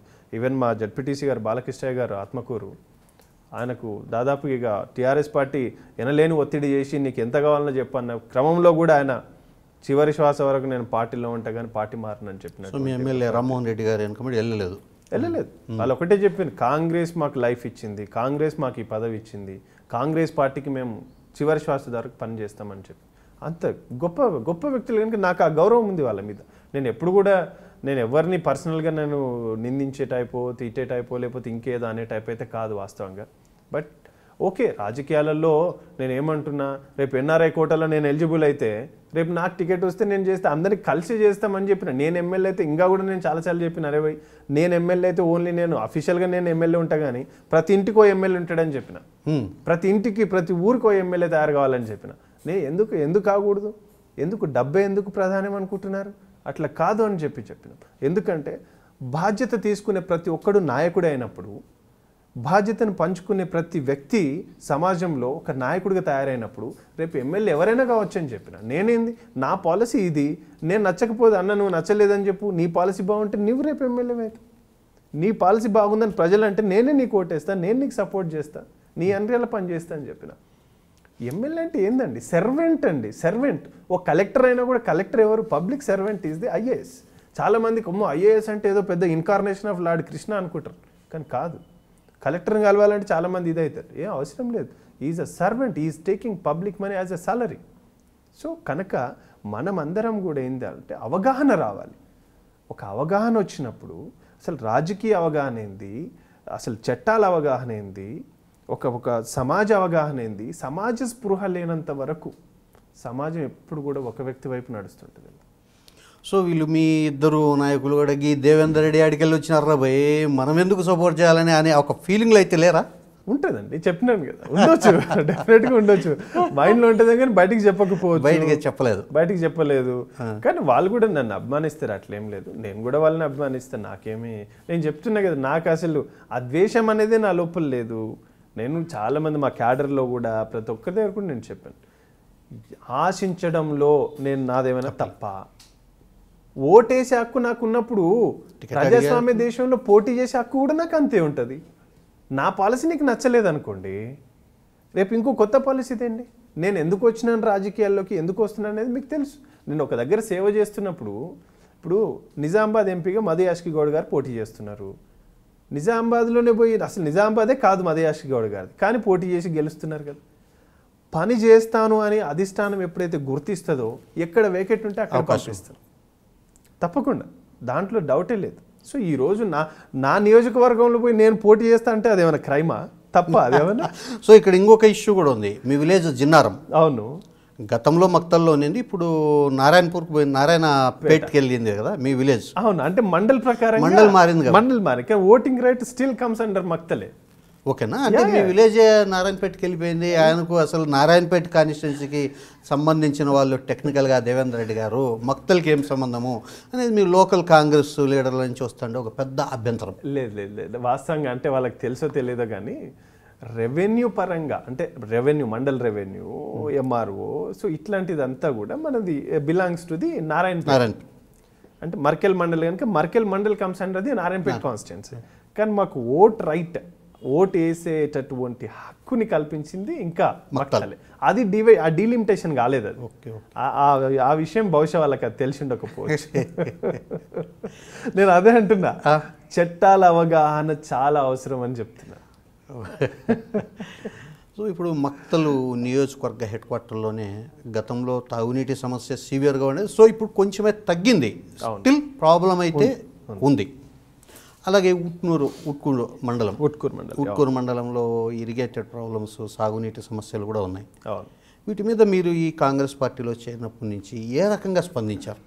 యాక్చువల్గా నేను అంటే since I'm busy with the gulf activities and all నేను యాక్చువల్ ఒక సమస్య ఉంది ఊట్కూరులో పెద్ద చెరువు అనేటటువంటి దాన్ని ఒక పెద్ద రిజర్వాయర్ కింద చేసి ఈ యొక్క ఇరిగేషన్ సమస్యను తీరుస్తానని చెప్పి ఆ రోజు స్వర్గీయులు చిట్టెం నర్సిరెడ్డి గారు కూడా చెప్పడం జరిగింది. తర్వాత నిన్న మొన్న ఏదైతే పార్టీ మారిన ఎమ్మెల్యే గారు ఉన్నారో ఆయన కూడా నేను ఈ విషయం కోసమే నేను పార్టీ మారుతున్నా అన్నటువంటి సందర్భాలు కూడా ఉన్నాయి. కానీ ఆయన కూడా దాని మీద సీరియస్గా తీసుకోలేదు. అది అన్యాయమే జరిగింది ఇంకా న్యాయం జరగలేదు. దాని మీద కూడా తొందరలోనే మేము ఒక యాక్షన్ ప్లాన్ పెట్టుకొని తప్పకుండా దాని మీద న్యాయం జరిగే విధంగా ఫైట్ చేస్తామని చెప్పి నేను మీ ద్వారా తెలియజేస్తున్నాను. సో అంటే ఇప్పుడు మీ ఎమ్మెల్యే గారు ఇక్కడ కాంగ్రెస్లో గెలిచి టీఆర్ఎస్కి వెళ్ళారు. అవును. రామ్మోహన్ చిట్టెం రామ్మోహన్ రెడ్డి గారు. అవును. అంటే ఆయన ప్రభావం ఇంకా కాంగ్రెస్ మీద ఉండదంటే ఎలక్షన్స్ రాబోతున్నాయి మరి. చిన్న చిన్న లీడర్లు ఉంటారు కదా విలేజ్ లెవెల్ లీడర్లు లేదండి. మండల్ ఇంకా కొంతమంది పదవులు ఇస్తా మీరు రండి అనేదో ప్రెజరైజ్ చేస్తున్నారు అనేది వినిపిస్తుంది. ఉన్నాయి. చాలా రోజు రోజు ఒత్తిడి మా కాంగ్రెస్ కార్యకర్తల మీద ఆ మండల్లో ఈ మండల్లో కొద్దిగా గట్టిగా పలుకుబడి ఉన్న వాళ్ళందరినీ పిలుచుకొని తీసుకొని పోతున్నాడు. అయితే చాలామంది కూడా ఎవరు మొగ్గు చూపలేదు. అయితే కొంతమందికి ఏది కాంట్రాక్ట్లు ఇస్తాం ఇది ఇస్తాం అది ఇస్తాం అని చెప్పేసి అయితే చెప్తున్నాడు. చెప్పేసి మోసం చేసే మోసపూరితమైనటువంటి ఈ కార్యక్రమాలకు పాల్పడుతున్నారు. ఇది చాలా దారుణం. ఎందుకంటే నువ్వు లీడర్గా ఉన్నప్పుడు నిన్ను చూసి ప్రజలు ఓట్లేస్తా అన్నప్పుడు ప్రధాన ప్రతిపక్షమైనటువంటి పార్టీ కాంగ్రెస్ పార్టీలో నుంచి తీసుకోవాల్సిన అవసరం ఏముంది? ఇదొక మోసం. నీవు కేపబుల్ లీడర్ అవుతే నీ లీడర్షిప్కి ప్రజలు ఓట్లేస్తారు. ఆ మండలిలో సంబంధించినటువంటి వ్యక్తియో లేకపోతే ఇంకో నలుగురిని తీసుకుపోయినంత మాత్రాన్ని నీకు ఓట్లేం రావు. కాకపోతే ఆయన నైతికతను కాపాడుకోవడానికి ఆయన యొక్క విధానాన్ని ఇంకా పెంచుకోవడానికి తప్ప వేరే చేసేదంతే ఏం లేదు. ఊరికి ఆశ చూపి తీసుకుంటున్నాడు అందరినీ. ఆయన మీద క్రెడిబిలిటీ లేదండి. చాలా దారుణం. ఇంకా ఎంత అంటే ఇక అన్ని దాంట్లలో పర్సంటేజీలు. ఇంకా చెప్తే అసలు చాలా దారుణంగా ఉంటుంది ఇక. ఆ టైప్లో వ్యవహరిస్తూ ఉన్నాడు. బట్ మంచి పద్ధతి కాదు. ఏది చేసినా నిస్వార్థంగా ఉండాలి. స్వర్గీయులు చిట్టం నర్సిరెడ్డి గారి మీద ఉన్నటువంటి అభిమానం మా మాజీ మంత్రివర్యులు అర్ణమ్మ మీద ఉన్నటువంటి అభిమానంతో ఆయనకు ఓట్లేసినారు తప్ప ఆయనకు ఉన్నటువంటి క్రెడిబిలిటీ మీద కాదు. సో మక్తల్ నియోజకవర్గంలో డీకే అరుణ గారి ప్రభావము ఏ రకంగా ఉంటుందంటే టికెట్ ఇప్పించడం కానీ అక్కడ ఓటర్లను ప్రభావితం చేయడం కానీ ఆ ప్రభావం తప్పకుండా ఉంటుంది కదా? ఉంటుంది డెఫినెట్ ఒక మాజీ మంత్రివర్యులు తర్వాత she born in near near geographical system Dhanwada పక్కన మండలే. కనుక డెఫినెట్గా ఉంటుంది. ఎందుకంటే ఆమె అప్పటి నుంచి కూడా కార్యక్రమాలలో అన్నింట్లో భాగస్వాములుగా ఉండి కార్యకర్తలకి భరోసానిస్తూ కూడా ఉంటున్నారు. సో ఆ ప్రభావం ఉంటుంది. టికెట్ విషయంలో డెఫినెట్గా it may impact it may not impact ఇక ఏదైనా ఉండొచ్చు. కాంగ్రెస్ పార్టీలో ఎవరికైనా సాధ్య అసాధ్యాలు రెండు ఉంటాయి. సాధ్యం కాదంటూ ఏది ఉండదు. ఏముండదు నేను కూడా చాలా మందికి అదే చెప్తుంటా. ఏది అసాధ్యం కాదు ఏది శాశ్వతం కాదు. సో అంటే మీరు ఇప్పుడు చెప్తా అంటే ఒక క్వశ్చన్కు జాయింట్ అనుబంధ ప్రశ్న ఏమంటే మీరు చెప్పింది రెండు వేల నాలుగులో రాజశేఖర రెడ్డి గారు సీఎం అయ్యారు ఉమ్మడి ఆంధ్రప్రదేశ్కు. రెండు వేల తొమ్మిది ఎలక్షన్స్ వచ్చేప్పటికి ఆయన మోస్ట్ పవర్ఫుల్ పర్సన్. అవును. ఆయన ఎవరు చెప్తే వాళ్ళకి టికెట్ ఎవరు కాదంటే వాళ్ళకి. అంతే. ఈ పరిస్థితిలో కూడా ఇటు తెలంగాణలో మోదయాష్కి గౌడ్ గారు అయితేమి మన రాజమండ్రిలో హర్షకుమార్ గారు అయితేమి చిత్తూరు జిల్లాలో కుతూహలమ్మ గారు అయితేమి అవును. రాజశేఖర రెడ్డి గారు వద్దన్నా టికెట్లు తెచ్చుకున్నారు. అవును. అవును. పైన లాబింగ్ చేసుకొని రకరకాల గులాం నబీ ఆజాద్ గారు. అంటే కాబట్టి ఆ సిచ్యువేషన్ ఇప్పుడు ఇంకా ఈజీ అవుతుంది అనేది మీ అభిప్రాయమా? అంటే ఇప్పుడు కాంగ్రెస్లో అంత మోస్ట్ పవర్ఫుల్ లీడర్స్ లేరు కదా. లేరు అదే అంటున్నా. ఏదైనా సాధ్యమే కాంగ్రెస్లో అంటున్నా. అంటే నేను ఐఎమ్ నాట్ డిగ్రేడింగ్ ఎనీబడి అంటే వాళ్ళు నాకు టికెట్ రావద్దని ఆపే ప్రయత్నము చేయొచ్చు. టికెట్ రావాలి తెచ్చుకోవాలనే ప్రయత్నం నేను చేయొచ్చు. చివరిగా ఏదైనా ఫలించవచ్చు. నా ప్రయత్నం ఫలించే అవకాశాలు ఉన్నాయి వాళ్ళ ప్రయత్నం ఫలించే అవకాశాలు కూడా ఉన్నాయి. అంటే నేను ఈ ప్రశ్న ఎందుకు అడిగానంటే మక్తల్ నియోజకవర్గంలో అరుణ గారి ప్రభావము ఆమె పట్టు ఉంటాయి కదా అని. ఇప్పుడు టికెట్ ఆశిస్తుండే వాళ్ళు డిసిఎంఎస్ చైర్మన్ గారు కానీ జెడ్పీటీసీ గారు కానీ దాదాపు ఇరవై ముప్పై సంవత్సరాల నుంచి అరుణ గారి ఫాలోయర్స్. వాళ్ళు ఇద్దరు కూడా చాలా గట్టిగా పోటీ పడుతున్నారు. అవును. మరి వాళ్ళిద్దరిని కాదని అరుణ గారు మీకు సపోర్ట్ చేసే అవకాశం ఉంటుందా? ఉండదు కదా? అంటే నాకు సపోర్ట్ చేయకపోయినా అపోజ్ చేయదు. అది మాత్రం నేను షూర్ నాకు సపోర్ట్ చేయకపోయినా అపోజ్ మాత్రం ఆ కాన్ఫిడెన్స్ నాకు. మేడంతో కూడా మీకు మంచి గుడ్ రిలేషన్ మేడంతో ఇది ఉంది. మేడంకి కూడా నేను అప్డేట్ చేస్తుంటా. మేడం ఈ యా- ఈ యాక్టివిటీ ఉంది ఇట్లా ఉంది ఇక్కడ వెళ్ళినాం ఎక్కడ వెళ్ళినాం అని చెప్పేసి నేను ఈవెన్ ఐ అప్డేట్ నేను చెప్పినాను కదా ఇందాక I have no time at all to fight with anybody నేను అందరిని కూడా వస్తే అందరితో కలుపుకుపోయి పని చేయడానికి నేను సిద్ధంగా ఉన్నాను చేస్తున్నాను చేస్తాను కూడా. సో ఇప్పుడు అక్కడ ఎమ్మెల్యే కాంగ్రెస్ నుంచి గెలిచి టీఆర్ఎస్లోకి వెళ్ళారు రామ్మోహన్ రెడ్డి గారు. అలాగే టీడీపీ నుంచి మాజీ ఎమ్మెల్యే కొత్తకోట దయాకర్ రెడ్డి గారు ఉన్నారు. అంటే అక్కడ బేసిక్గా ఎమ్మెల్యే కాకపోయినా టీఆర్ఎస్ అనేది ఇప్పుడు అధికారంలో ఉంది ఒక స్ట్రాంగ్ పార్టీ. కొత్తకోట దయాకర్ రెడ్డి కూడా ఒక స్ట్రాంగ్ పర్సన్. ఈ ఇద్దరి మధ్య కాంగ్రెస్ అభ్యర్థి గెలిచే అవకాశాలు ఉన్నాయి. ఫైట్ చేయగలిగే శక్తి ఉంది బేసిక్గా పార్టీకి మీ నియోజకవర్గంలో. మాకు almost twenty eight to thirty percent reserved vote bank ఉంటుంది కాంగ్రెస్ పార్టీకి. మీరు ఎనీ టైం మీరు ఎలక్షన్స్ కండక్ట్ చేయండి. ఈసారి only from Mahabubnagar almost out of fourteen in united జిల్లా ఉమ్మడి జిల్లాలో పన్నెండు సీట్లు కాంగ్రెస్ పార్టీ గెలవబోతుంది. రెండు పార్లమెంట్ సీట్స్ కూడా కాంగ్రెస్ పార్టీ గెలవబోతుంది. సో అక్కడ పద్నాలుగు అసెంబ్లీకి పన్నెండు రెండు పార్లమెంట్ అంటే ఆల్మోస్ట్ కాంగ్రెస్ అధికారంలోకి వచ్చినట్లే. అంటే ఓవరాల్గా తెలంగాణ మొత్తం చూస్తే కానీ ఆ పరిస్థితి అంత ఈజీ కాదేమో అనే వాతావరణం కనపడుతుంది కాంగ్రెస్ అధికారంలోకి రావడం. లేదండి. అది నేను అంటే ఆ మీడియాని అనొచ్చో లేదో నాకు తెలియదు కానీ మ్యానిపులేషన్ అండి. మీడియా మ్యానిపులేషన్ మీడియా మేనేజ్మెంట్ నడుస్తుంది. ఓకే మీడియా మేనేజ్మెంట్ ఎక్కువ రోజులు పనికిరాదండి. ఇప్పుడు నాకు జ్వరం వచ్చింది అని ఆయన అంటే జ్వరానికి సంబంధించిన మంది ఇస్తే దాన్ని బాగుంటుంది కానీ టీవీలో పెద్ద పెద్ద యాడ్లు ఇచ్చి నువ్వు అమెరికాకు పోతే నువ్వు ఈ మందు వాడితే నీ జ్వరం రెండు రోజుల్లో తగ్గిపోతుంది అనేటటువంటి యాడ్ ఇస్తే అసలు అది ఎవరికైనా ఉపయోగం ఉంటుందా? గ్రౌండ్ రియాలిటీ నాకు తెలిస్తే నాకు జ్వరం వచ్చినప్పుడు నాకు ఆ మంది ఇస్తే దానికి నేను అరే మా డాక్టర్ మంచి మంది ఇచ్చింది అని చెప్పి నేను ఆ మందు వాడతాను ఆ ఇది ఉంటుంది. రేపు తర్వాత డాక్టర్ వచ్చి ఇగో నీ కోసం ఇగో ఈ ప్రభుత్వం ఇంత పని చేస్తుంది ఇది ఇది అని అంటే నేను డాక్టర్ చెప్పినటువంటి వ్యక్తికి ఓటేస్తా. గ్రౌండ్లో సిటీలో చాలా డిఫరెన్సియేషన్ ఉందండి. ఈవెన్ సిటీలో కూడా అనుకున్నంత అభివృద్ధి జరగలేదు. ఈరోజు సిటీలో ఉన్నటువంటి రెసిడెంట్స్ కూడా చాలా బాధపడుతున్నారు. మేము ది ఈ పరిపాలన కోసమా ఈ డెవలప్మెంట్ కోసమేనా మేము ఈరోజు వీళ్ళకి అధికారం ఇచ్చింది అని. ఎట్ ద సేమ్ టైం రూరల్లో కూడా ప్రతి వ్యక్తి కూడా ఏదైతే చెప్పినారో మైనార్టీలది ట్రైబల్స్ది డబుల్ బెడ్రూమ్ ఇన్లని కేజీ టు పీజీ విద్య అని చెప్పి ఎన్ని ఈరోజు గల్ఫ్ పాలసీది అయితేనేమి ఇట్లా ప్రతి దాంట్లో కూడా ఈరోజు ప్లాఫ్ అయినటువంటి సందర్భాలు. అంటే డబుల్ బెడ్రూమ్స్ కొన్ని చోట్ల స్టార్ట్ చేశారు కొన్ని కొన్ని చోట్ల లబ్ధిదారులకు హ్యాండ్ ఓవర్ కూడా చేశారు కాబట్టి మెల్లగా ఇంప్లిమెంట్ చేస్తూ వస్తున్నారు డబుల్ బెడ్రూమ్ ఇల్లు లేదండి ఇప్పుడు ప్రభుత్వము ఏం ప్రజలు ఏం కోరుకుంటారు? మీరు ప్రభుత్వంలో ఉన్నంత వరకే నువ్వు ఈ పని చేస్తే బాగుంటుందని చెప్పి కోరుకుంటారు. నేను ఎప్పుడో పదేళ్ళ తర్వాత నేను డబుల్ బెడ్రూమ్ ఇస్తే ఇల్లు ఇస్తానంటే అంతవరకు ఎవరు వెయిట్ చేస్తారు? కొంతమందికి ఇచ్చేసారు గృహ ప్రవేశాలు కూడా అయిపోయినాయి కదా. ఎక్కడిచ్చారు? ఏదో వాళ్ళ సంబంధించినటువంటి సీఎం గారి కాన్స్టిట్యున్సీలో ఏదో నాలుగు ఇండ్లు కట్టుకొని దాన్ని ఒక మోడల్ హౌస్ కింద చేసుకొని దాన్ని అట్లా ఊరికే పాపప్ చేస్తున్నారు అంతే. కానీ ఎక్కడ చేసినారు? ఎక్కడ కంప్లీట్ అవ్వలేదు ఇప్పటి వరకు ఇంకా ప్రారంభం కూడా కాలేదు. కొన్ని ఏరియాలో కొన్ని అక్కడక్కడ ఊరికే చూపించడానికి ఒక వంద ఇండ్లు రెండు వందల ఇండ్లు ఊరికే స్టార్ట్ చేసి వదిలిపెట్టినారు అంతే. సో కాంగ్రెస్ పార్టీకి మీడియా మేనేజ్మెంట్ చేత కాదంటారు అయితే? మీడియా మేనేజ్మెంట్ జనరల్గా ఏముంటుందంటే అండి మీడియా కూడా ఎప్పుడు కూడా అంటే మరి ఈ పక్షపాత ధోరణి ఇప్పుడే కనిపిస్తుంది. నాకు కూడా మీడియా మీద అవగాహన ఉంది. Since I even did my journalism నాకు కూడా ఒక అవగాహన ఉంది కానీ. అంటే మరి ఎందుకు ఇంత దారుణమైనటువంటి ఒక వ్యవహారిక శైలిని ప్రవర్తిస్తున్నదో అంటే నేను అందరిని అనట్లేదు కొందరు మాత్రమే. కొందరు ఉన్నారు సో ఇట్లా వ్యవహరిస్తూ ఉంది కనుక కాంగ్రెస్ పార్టీకి మీడియా మేనేజ్మెంట్ తెలియకపోవటం కాదు. మేము చెప్తా ఉన్నాం. ఈరోజు టీఆర్ఎస్ పార్టీ ప్లాఫ్ అయిన ప్రతి స్కీమ్ని కూడా మనం ఎత్తి చూపిస్తా ఉన్నాం. కొట్లాడుతున్నాం దాని గురించి. కానీ దాన్ని వాళ్ళు కూడా బాధ్యతగా ఈరోజు ఈ కాంగ్రెస్ పార్టీగా ఈ ఎజిటేషన్ చేసిందన్న విధానాన్ని పబ్లిక్లోకి తీసుకపోతే ఇంకా బాగుంటుంది. కానీ అది జరగట్లేదు అనేది మా అభిప్రాయం ఓ అంటే ఎంత వరకు ప్రియారిటీ వాళ్ళను అంత అంత ప్రయారిటీ ఇవ్వట్లేరు మేము రెండు ప్రైమ్ టైమ్స్ చూస్తున్నాం. కనీసం జనరల్గా మీడియా న్యూట్రల్ ఉంటుంది ఎప్పుడు కూడా. అంటే ఒక ప్రైమ్ టైంలో విధానాలు చెప్పినా ఒక ప్రైమ్ టైంలో లూప్ హోల్స్ చెప్పాలి. కానీ రెండు ప్రైమ్ టైమ్స్ కూడా ఇంకా ఆ టైప్లో వాళ్ళకి సపోర్ట్ చేస్తా కనిపిస్తూ ఉన్నది అనేది మా భావన. సో మీరు నియోజకవర్గంలో అప్పుడప్పుడు వెళ్తుంటారు ప్రజలకు అందుబాటులో ఉంటారు. మీరు పోతే ఎక్కువ మీ వెంట పొరగాళ్ళు ఎక్కువ ఉంటారు. మీరు బాగా రెగ్యులర్గా వాళ్ళకు దావత్లు గివత్లు ఇస్తుంటారు? నిజమేనా?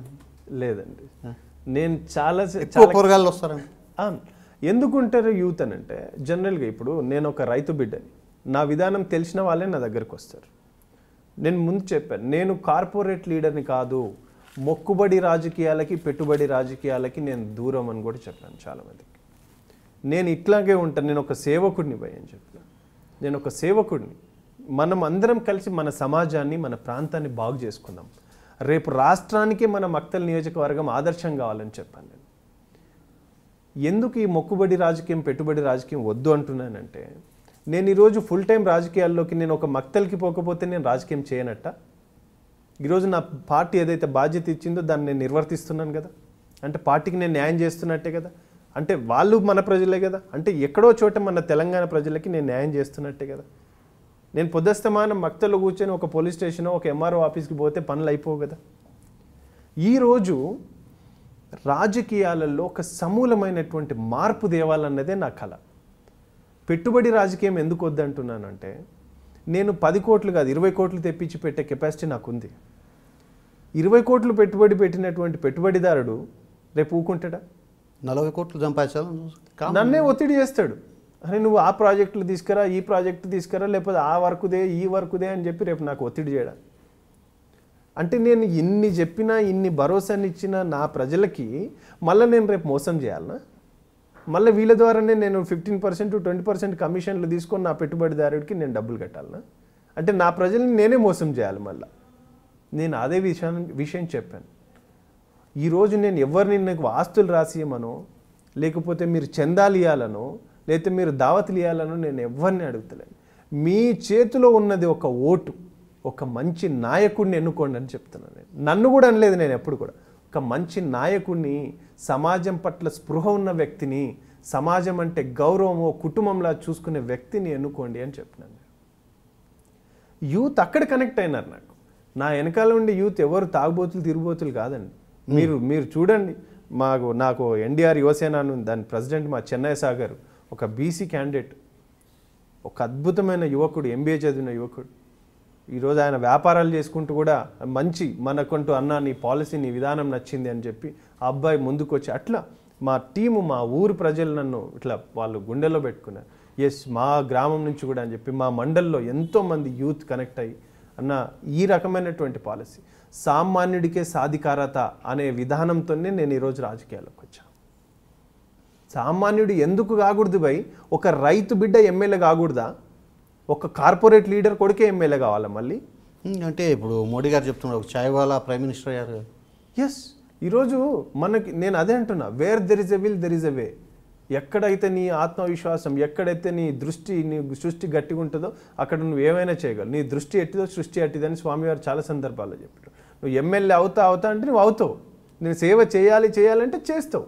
నా వల్ల ఏమవుతుంది అంటే నువ్వు అన్నే ఉంటావు వాళ్ళు అక్కడే ఉంటారు నేను ఎవరు గుర్తించాను. ఈరోజు ఐ డ్రీమ్ నన్ను గుర్తించి నాకు అవకాశం ఇచ్చిందంటే ఊరికి నేను ఏదో ఇంట్లో కూర్చుంటే "ఆ, దేవేంద్ర రెడ్డి గారు మీరు రండి సార్ సరదాగా మాట్లాడుకుందామని కాదుగా నేను యువతకి అదే చెప్పాను బ్రదర్ ఇట్స్ అవర్ రెస్పాన్సిబిలిటీ ఇది మన బాధ్యత. మనం అందరం కలుద్దాం. మన బాధ్యతని ఈరోజు మన సమాజంలో ఉన్న మనం ఎవరిని తిట్టాల్సిన అవసరం లేదు. ప్రభుత్వాలను ఎందుకు తిట్టాలి మనం? మనం ఏదైనా చేసి అప్పుడు ప్రభుత్వం సపోర్ట్ చేయకపోతే అప్పుడు మనం క్వశ్చన్ చేయాలి. ఊరికి ఇంట్లో కూర్చొని వాడు బాగా చేయట్లేదు వీడు బాగా చేయట్లేదు ఇదంతా ఈ కాకన్బుల్ స్టోరీస్ వద్దని చెప్పినాను అని ఎవరిని తిట్టొద్దు. నువ్వు రా ముందుకి రా. నీ విధానం చెప్పు. పది మందిని బొడ్డేయి. కనెక్ట్గా చెయ్యి. ఆ విధానంలో అప్పుడు కూడా నిజంగా ప్రభుత్వం న్యాయం చేయట్లేదు అంటే అప్పుడు క్వశ్చన్ చేయాలి మనం. సో ఇప్పుడు మన మధ్య జరిగే ఈ డిస్కషన్ అంతా ఈ డిస్కషన్లో నాకు మీలో ఇంకొక యాంగిల్ కూడా కనపడిస్తుంది. ఆధ్యాత్మికత. నేను చెప్పాను కదా. ఆ తర్వాత కర్మ సిద్ధాంతం అనేది కూడా మీలో ఉన్నట్లుంది. మీరు బాగా. ఆధ్యాత్మికత దేవుణ్ణి బాగా నమ్ముతారు మీరు. ఎస్ నేను బారెన్లో ఉన్నప్పుడు కూడా ఇస్కాన్కి వెళ్ళే వాళ్ళం Bhagavad Gita classes Bhagavata classes even క్యాంపుల్లో labour క్యాంపుల్లో వెళ్ళి మేము బ్రదర్స్కి అక్కడ ఫ్రైడే హాలిడే ఉంటుంది జనరల్గా Friday Saturday evening session Bhagavad Gita classes conduct చేపిస్తుంటాం బహ్రెయిన్లో అయితే ప్రతి క్యాంపు ప్రతి దగ్గర మనం చాలా అద్భుతమైనటువంటి ఇది. Bahrain is very freedom country యాక్చువల్గా ప్రతి చోట ఆధ్యాత్మిక మార్గం. నేను చాలా సందర్భాల్లో మా ఏరియాలో అయ్యప్ప స్వామి పూజలు శివస్వామి పూజలు చేస్తే వెళ్తుంటే నేను చెప్పేవాడిని ఒకటే. ఆధ్యాత్మిక చింతన ఎంత గొప్పది అనే దానికి ఒక చిన్న ఇన్వెన్షన్ ఇచ్చిన నేను. ఒక కంప్యూటర్కి యాంటీవైరస్ ఎంత ఇంపార్టెంటో యాంటీవైరసే లేకపోతే ఏ ఫైల్ అయినా కూడా అట్లా. కరెక్ట్ అయిపోతుంది. సేమ్ వే ప్రతి వ్యక్తికి కూడా స్పిరిచువాలిటీ అనే యాంటీవైరస్ని ఇన్కాల్కులేట్ చేసుకోవాలని చెప్పాను ఆ యాంటీవైరస్ అనే డివోషన్ మనలో లేనప్పుడు మన మైండ్ ఎప్పుడు పొల్యూట్ అవుతుంటుంది మంచి చేద్దామనే థాట్ రాదు. నాకు ఈ వయసులో నేను ఇంత ఈ కర్మ సిద్ధాంతం ఈ ఆధ్యాత్మికం లేదా ఇవన్నీ మాట్లాడుతున్నానంటే నాకు ఊరికే కూర్చుంటే రాలేదు ఇవన్నీ. అంటే మనం చిన్నప్పటి నుంచి కూడా పెరిగిన విధానం ఆ సత్యబాబా గారు ఇచ్చినటువంటి స్ఫూర్తి ఆయన ఇచ్చిన ఆశీర్వాదం వల్లనే ఈరోజు మనం అటువైపు రాగలిగాం. చాలామంది అంటారు అన్న ఇంత కాన్ఫిడెన్స్ ఎక్కడిది నీకంటే నేను చెప్పాను. When you believe your self automatical everything will connect you అని. If you should as a magnet everything will connect నిన్ను నువ్వు నమ్ముకోలేకపోతే ఎవరు నమ్మరండి? కాన్ఫిడెన్స్ సెల్ఫ్ రెస్పెక్ట్ చాలా ఇంపార్టెంట్ ఈరోజు నాకు ఆత్మస్థైర్యం ఎక్కువ. నన్ను నేను బిలీవ్ చేస్తాను ఫస్ట్ ఆఫ్ ఆల్ నేను ఎంతవరకు చేయగలను నేను ఏం చేయగలను అనేది నన్ను నేను ఫస్ట్ డయాగ్నోజ్ చేసుకుంటాను నా కెపాసిటీ ఏంటి ఎంత అనేది. ఆ దాని వరకు నేను ఈ- ఇంతవరకు ఈదగలుగుతా అంటే అంతవరకు నేను వెళ్ళిపోగలను. ఇంకో వ్యక్తికి కూడా చెప్తారే నేనే ఈదుతున్నప్పుడు నువ్వెందుకు ఈదలేవు? రా అని చెప్తాను అనమాట అంతే. అంటే ఒకటి ఏంటంటే ఆధ్యాత్మికం స్పిరిచువాలిటీ చాలా ఇంపార్టెంట్ అండి. ఈరోజు సమాజంలో ప్రతిదీ ఆన్లైన్లో కొంటవచ్చు కొనొచ్చు. You can sit and do it online you can buy you can you know get it everything in a minutes you can't get devotion spirituality through online correct you have to be you know uh, apply yourself. You have to uh, work out on your own basis. నువ్వు practice చేయాలి. ఆధ్యాత్మికం అది cheap సింపుల్గా పోయి కొనుక్కొని వచ్చి జోబులో పెట్టుకునేంత కాదు ఇది. అంటే మీరు చదువుతుంటారా బుక్స్ రెగ్యులర్గా సనాతన సారథి స్వామివారి మ్యాగజైన్ వస్తుంది ఎవ్రీ మంత్. Hmm. చాలా అద్భుతంగా ఉంటుందండి అసలు. స్వామివారు చెప్పే ప్రతి మాట ఎంటైర్ భగవద్గీత చదివితే వచ్చే సారాంశాన్ని స్వామివారు ఇట్లా మాటల్లో చెప్తారు. నేను చాలా సందర్భాల్లో ఈ చర్చిలకి అక్కడిక్కడ పోయినప్పుడు కూడా నేను ఒకటే చెప్తాను. స్వామి ఒకటి మంచి మాట చెప్తారు. మతములన్నీ చేరి మంచినే బోధించే మతులు మంచివైనను మతమేది చెడ్డది తెలిసి మెల్లగవలి నువ్వు తెలుగువాడా అని చెప్పి స్వామి ఒకటి చెప్తారనమాట ఒకటే చెప్తాను మీరు ఏ మతంలోనైనా ఉండండి. మత సిద్ధాంతం అసలు మతం ఏం చెప్తుందో తెలుసుకొని మెలిగితే చాలు. అది పెద్ద గొప్పతనం. అంటే ఏ మతమైనా ప్రజలకు సాయం చేయమంటుంది మేలు చేయమంటుంది. మేలు చేయం ఏ మతమైన ఒకటే చెప్తుంది అన్నటువంటి ఆ సిద్ధాంతాన్ని నేను చాలామంది మా ఫ్రెండ్స్కి కూడా అదే చెప్తాను. నేను even I do visit all the churches even grand mass and middle ఈస్ట్కి వెళ్తే ప్రతి మాస్కి వెళ్తుంటాను. ఏ పండుగలు వచ్చినా ఏ కమ్యూనిటీలో ఏ రిలీజియన్లో ఏ పండుగ వచ్చినా కూడా అందరం కలిసి బాగా ఎంజాయ్ చేస్తాం. I'm good devotee Swamy devotee I'm good singer even bhajans కూడా అద్భుతంగా మేము భజన్స్ పాడేవాళ్ళం చాలా బాగా అసలు. సో మీలో సింగర్ యాంగిల్ కూడా చాలా బాగా. ఇంకా ఈవెన్ క్రిస్మస్ సాంగ్స్ కూడా మేము మన భార్యలో తెలుగు కళాశాల మనం వీఆర్ డూయింగ్ ఆల్ సెలబ్రేషన్స్ అనమాట we're singing all songs devotional songs అయినా లేదు సినిమా సాంగ్స్ పాప్ సాంగ్స్ లేదు ఓన్లీ డివోషనల్ ఎక్కువ. ఇక సినిమా సాంగ్స్ ఈ మధ్య టైం లేక అది పెద్ద పట్టించుకోవట్లేదు. అసలు సినిమాలు కూడా తక్కువ అయిపోయి చూడట్లేదు అసలు సినిమా. చదివేటప్పుడు చూసేవాళ్ళ బాగా సినిమాలు? స్టూడెంట్ ఎందుకు అంటే నేను కొద్ది చిన్నప్పటి నుంచి కూడా ఇటు స్వామి మార్గంలోనే ఎక్కువ ఉన్నాం. సినిమాల మీద ఎందుకు నాకు అంత ఆసక్తి కానీ అంటే రియాలిటీ కనిపించలేదు. వాస్తవం కూడా కనెక్ట్ అవ్వలేకపోయాను నేను. సినిమాలకి పెద్దగా ఏదో అందరం ఎప్పుడైనా వెళ్దాం పదా అంటే సరదాగా వెళ్తాం కానీ. నేను పెళ్ళైన తర్వాత కూడా అర్లీ నేను నా వైఫ్ కలిసి ఒక రెండు మూడు సినిమాలు తప్ప ఇప్పటివరకు సినిమాలు చూడలేదు నియర్లీ టెన్ ఇయర్స్ ఈ ఇంకొక ఇష్యూ ఇప్పుడు మీరు గల్ఫ్ తెలంగాణ సెట్ల గల్ఫ్కు సంబంధించి ఇష్యూ ఆ తర్వాత మక్తల్ నియోజకవర్గము పబ్లిక్తో కనెక్ట్ కావడము. ఆధ్యాత్మికము ఇవన్నీ టైము ఎట్లా మీరు బ్యాలెన్స్ చేస్తున్నారు? ప్లస్ ఇంట్లో ఫ్యామిలీకి ఎట్లా స్పెండ్ చేయగలుగుతారు. Sir actually I'm very fortunate I really love my wife అన్న తను నా డ్రీమ్ని తను ఎంత సపోర్ట్ చేస్తుంది అంటే తనే ఈరోజు నీకు ఈ పని ఉంది కదా. ఇన్ఫాక్ట్ ఇవాళ మీ మీటింగ్ది కూడా ఆ, నేను ఇవాళ ఐ డ్రీమ్ది ఉన్నావు కదా అని మార్నింగే తను నా స్కెడ్యూల్ అంతా తను రిమైండ్ చేసి. మేడం. యా యా, నేను అంటే రేపు ఇది ఉంది ముందే చెప్పేస్తాను. వన్ డే ముందు ఇంకా అవసరం అంటే ఒక త్రీ ఫోర్ డేస్ షెడ్యూలే ముందు ప్రిపేర్ చేసుకుంటాం. లేకపోతే బ్యాలెన్స్ చేయలేం చాలా కష్టం. సో చెప్పేసి ఈరోజు తనే గుర్తు చేసింది. నేను మార్నింగ్ కూడా మళ్ళీ తను గుర్తు చేసిన వెంటనే మీకు కాల్ చేశాను నేను. మార్నింగ్ వెళ్దాం అనుకున్నాం కదా ఏంటనేది. అంటే తను చాలా సపోర్ట్ చేస్తుంది. నా వైఫ్ యాక్చువల్గా we got love married so we blessed with two kids పేరు బేబీ అండ్ డాట్ మేడం పేరు? రాధిక. సో చాలా అంటే తను కూడా ఏంటంటే ఒక నీలో ఒక మంచి క్వాలిటీ ఉంది. దాన్ని ఇంకా పది మందికి నువ్వు పంచాలి. సరే ఆస్తులు ఉంటే పంచుతాం లేదు తెలియదు క్వాలిటీని మాత్రం మనం ఈజీగా పంచవచ్చు సో దాన్ని నువ్వు తీసుకెళ్ళు పని చేయి అని చెప్పి తను ఎంత అంటే ఎంత నాకు నేను ఒక వారం రోజులు మిడిల్ ఈస్ట్కి వెళ్తున్నానంటే కూడా తను టోటల్ కిడ్స్ విషయం కానీ ఫ్యామిలీ విషయాలు అన్నీ కూడా తనే సో ఫ్యామిలీ సపోర్ట్ లేకుంటే అసలు బయటికి వెళ్ళలేం కదా? వేసుకోండి మనం చూస్తున్నాం ఎన్ని ఫ్యామిలీస్ కూడా వాస్తవంగా టోటల్గా ఈవెన్ డివోర్స్ వరకు వచ్చినటువంటి ఫ్యామిలీస్ చాలా ఉన్నాయి. నా ఫ్యామిలీ ఎంటైర్గా ఈవెన్ మా మదర్ ఇక్కడే ఉంటారు నాతో. చాలా సపోర్ట్. నా బ్రదర్ కూడా యంగర్ వన్ ఆయన సివిల్ వర్క్స్ అవి చేస్తుంటారు కాంట్రాక్ట్స్. సో ఆయన కూడా నన్ను ఈ- మూమెంట్లో ఇక్కడ లేను ఈ ఇది ఉంది ఇది చేయాలి అంటే నేను ఎప్పుడైనా లేనప్పుడు మా ఏరియాలో ఏమన్నా యాక్టివిటీ జరిగినప్పుడు ఈ విల్ బీ అటెండ్ అటెండ్ మీ తరఫున. మేము ఒకసారి కువైట్ వెళ్ళాం ఫిబ్రవరిలో. ఇక్కడ నిరుద్యోగ చైతన్య యాత్ర జరిగింది మక్తల్ ఏరియాలో. అప్పుడు నేను కువైట్లో ఉన్నాను. ఇక్కడ మా ఎన్డీఆర్ యువసేన మొత్తం టీం అంతా. మా తమ్ముడు అక్కడ ఉండి మొత్తం ప్రిపేర్ చేశాడు. సంథింగ్ మనం మన ఏరియాలో వచ్చినప్పుడు తప్పకుండా సపోర్ట్ చేయాలి పార్టీకి అని చెప్పి అట్లా చేశాం ఎప్పుడున్నా కూడా నాకు ఫ్యామిలీ ఫుల్ సపోర్ట్ అండి. ఐఎమ్ వెరీ లక్కీ అండ్ నాకు స్వామి ఇచ్చిన బ్లెస్సింగ్స్ అవి. ఎప్పుడు కూడా స్వామి utilize your self as instrument toward society for good causes అని ఎప్పుడు ఒకటి చెప్పేవారు అనమాట యూత్ కాంగ్రెస్. పిల్లల పిల్లల పేర్లు ఏం సార్? ఎంత ఏజ్ బాల సాయి సాధ్వి పాప పెద్దది. షీఈ్ అబౌట్ సిక్స్ ఇయర్స్ బాబు సాయి శ్రీ వాస్విక్ రెడ్డి అని ఈజ్ అబౌట్ ఫోర్ ఇయర్స్ అంట సో ఇద్దరికి సాయిబాబా గారి పేరు అయితే యా యా కంపల్సరీ పెట్టాం. వచ్చేటట్టు. సో మీరు లవ్ లవ్ మ్యారేజ్ అన్నారు కదా ఎక్కడంటే మీ క్లాస్మేటా మేడం? లేదు అంటే ఈక్వల్ క్లాస్మేట్ మేము ఇద్దరం టెన్త్ ఒకేసారి అయింది. కాకపోతే తను మా రిలేటివ్ యాక్చువల్గా అంటే మీ ప్రేమ టెన్త్ క్లాస్ నుంచే స్టార్ట్ అయింది. అంటే టెన్త్లో కలిసినాము. తర్వాత ఇంటర్లో నేను ప్రపోజ్ చేసినాను. తను డిగ్రీలో యాక్సెప్ట్ చేసింది. అంటే దాదాపు త్రీ ఇయర్స్ యా ఇక అంటే తను కూడా ఏంటంటే interesting. ఆ, మా నాన్నకి బాగా చదువుకునే అబ్బాయి అంటేనే ఇంట్రెస్ట్ బాగాను బాగా చదువుకోవాలి చదువుకోవాలి అని చెప్పి. సో అంటే నాకు ఇప్పుడు అర్థమైంది ఏమంటే మీ ఊర్లో ఇంటర్మీడియట్ కాలేజ్ జూనియర్ కాలేజ్ కూడా లేదు. లేదు.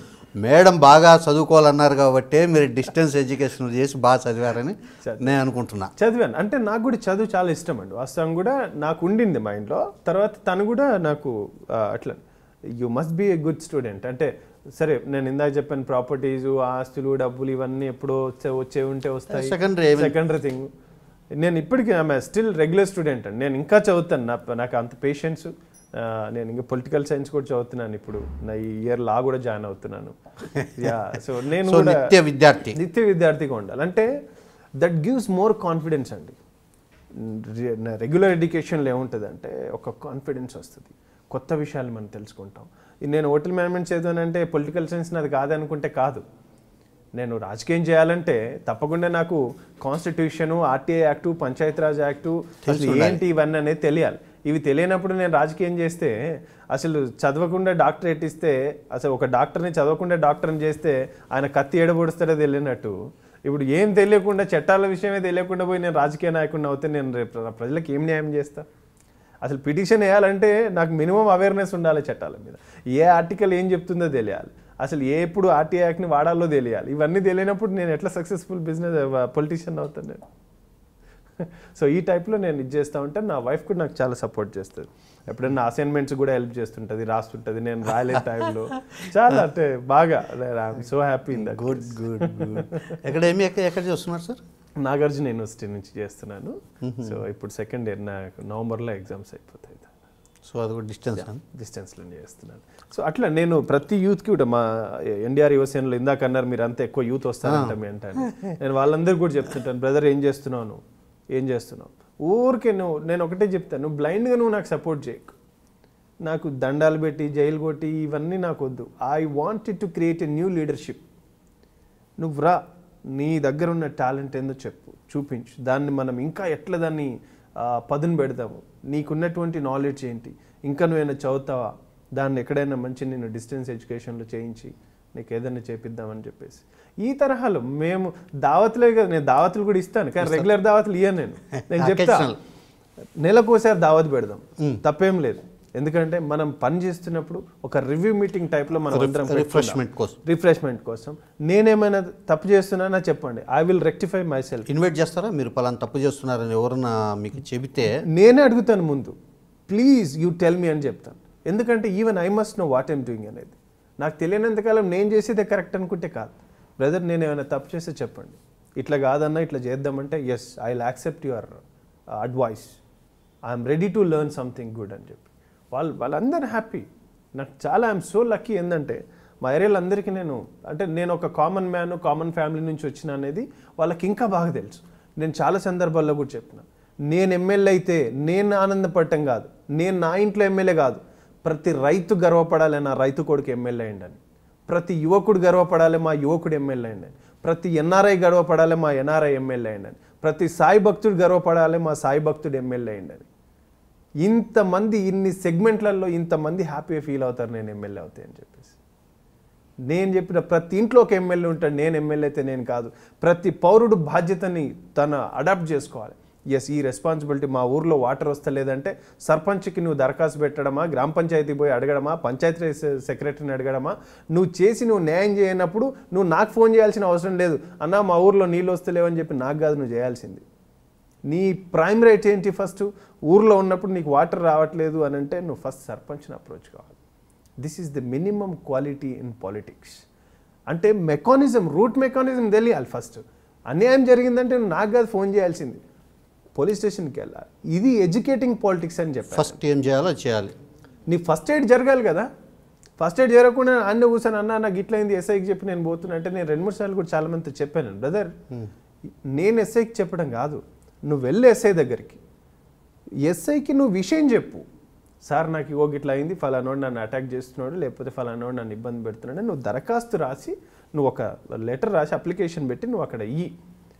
తర్వాత నువ్వు నాకు ఫోన్ చేయి నేను ఎస్ఐ గారికి చెప్తా.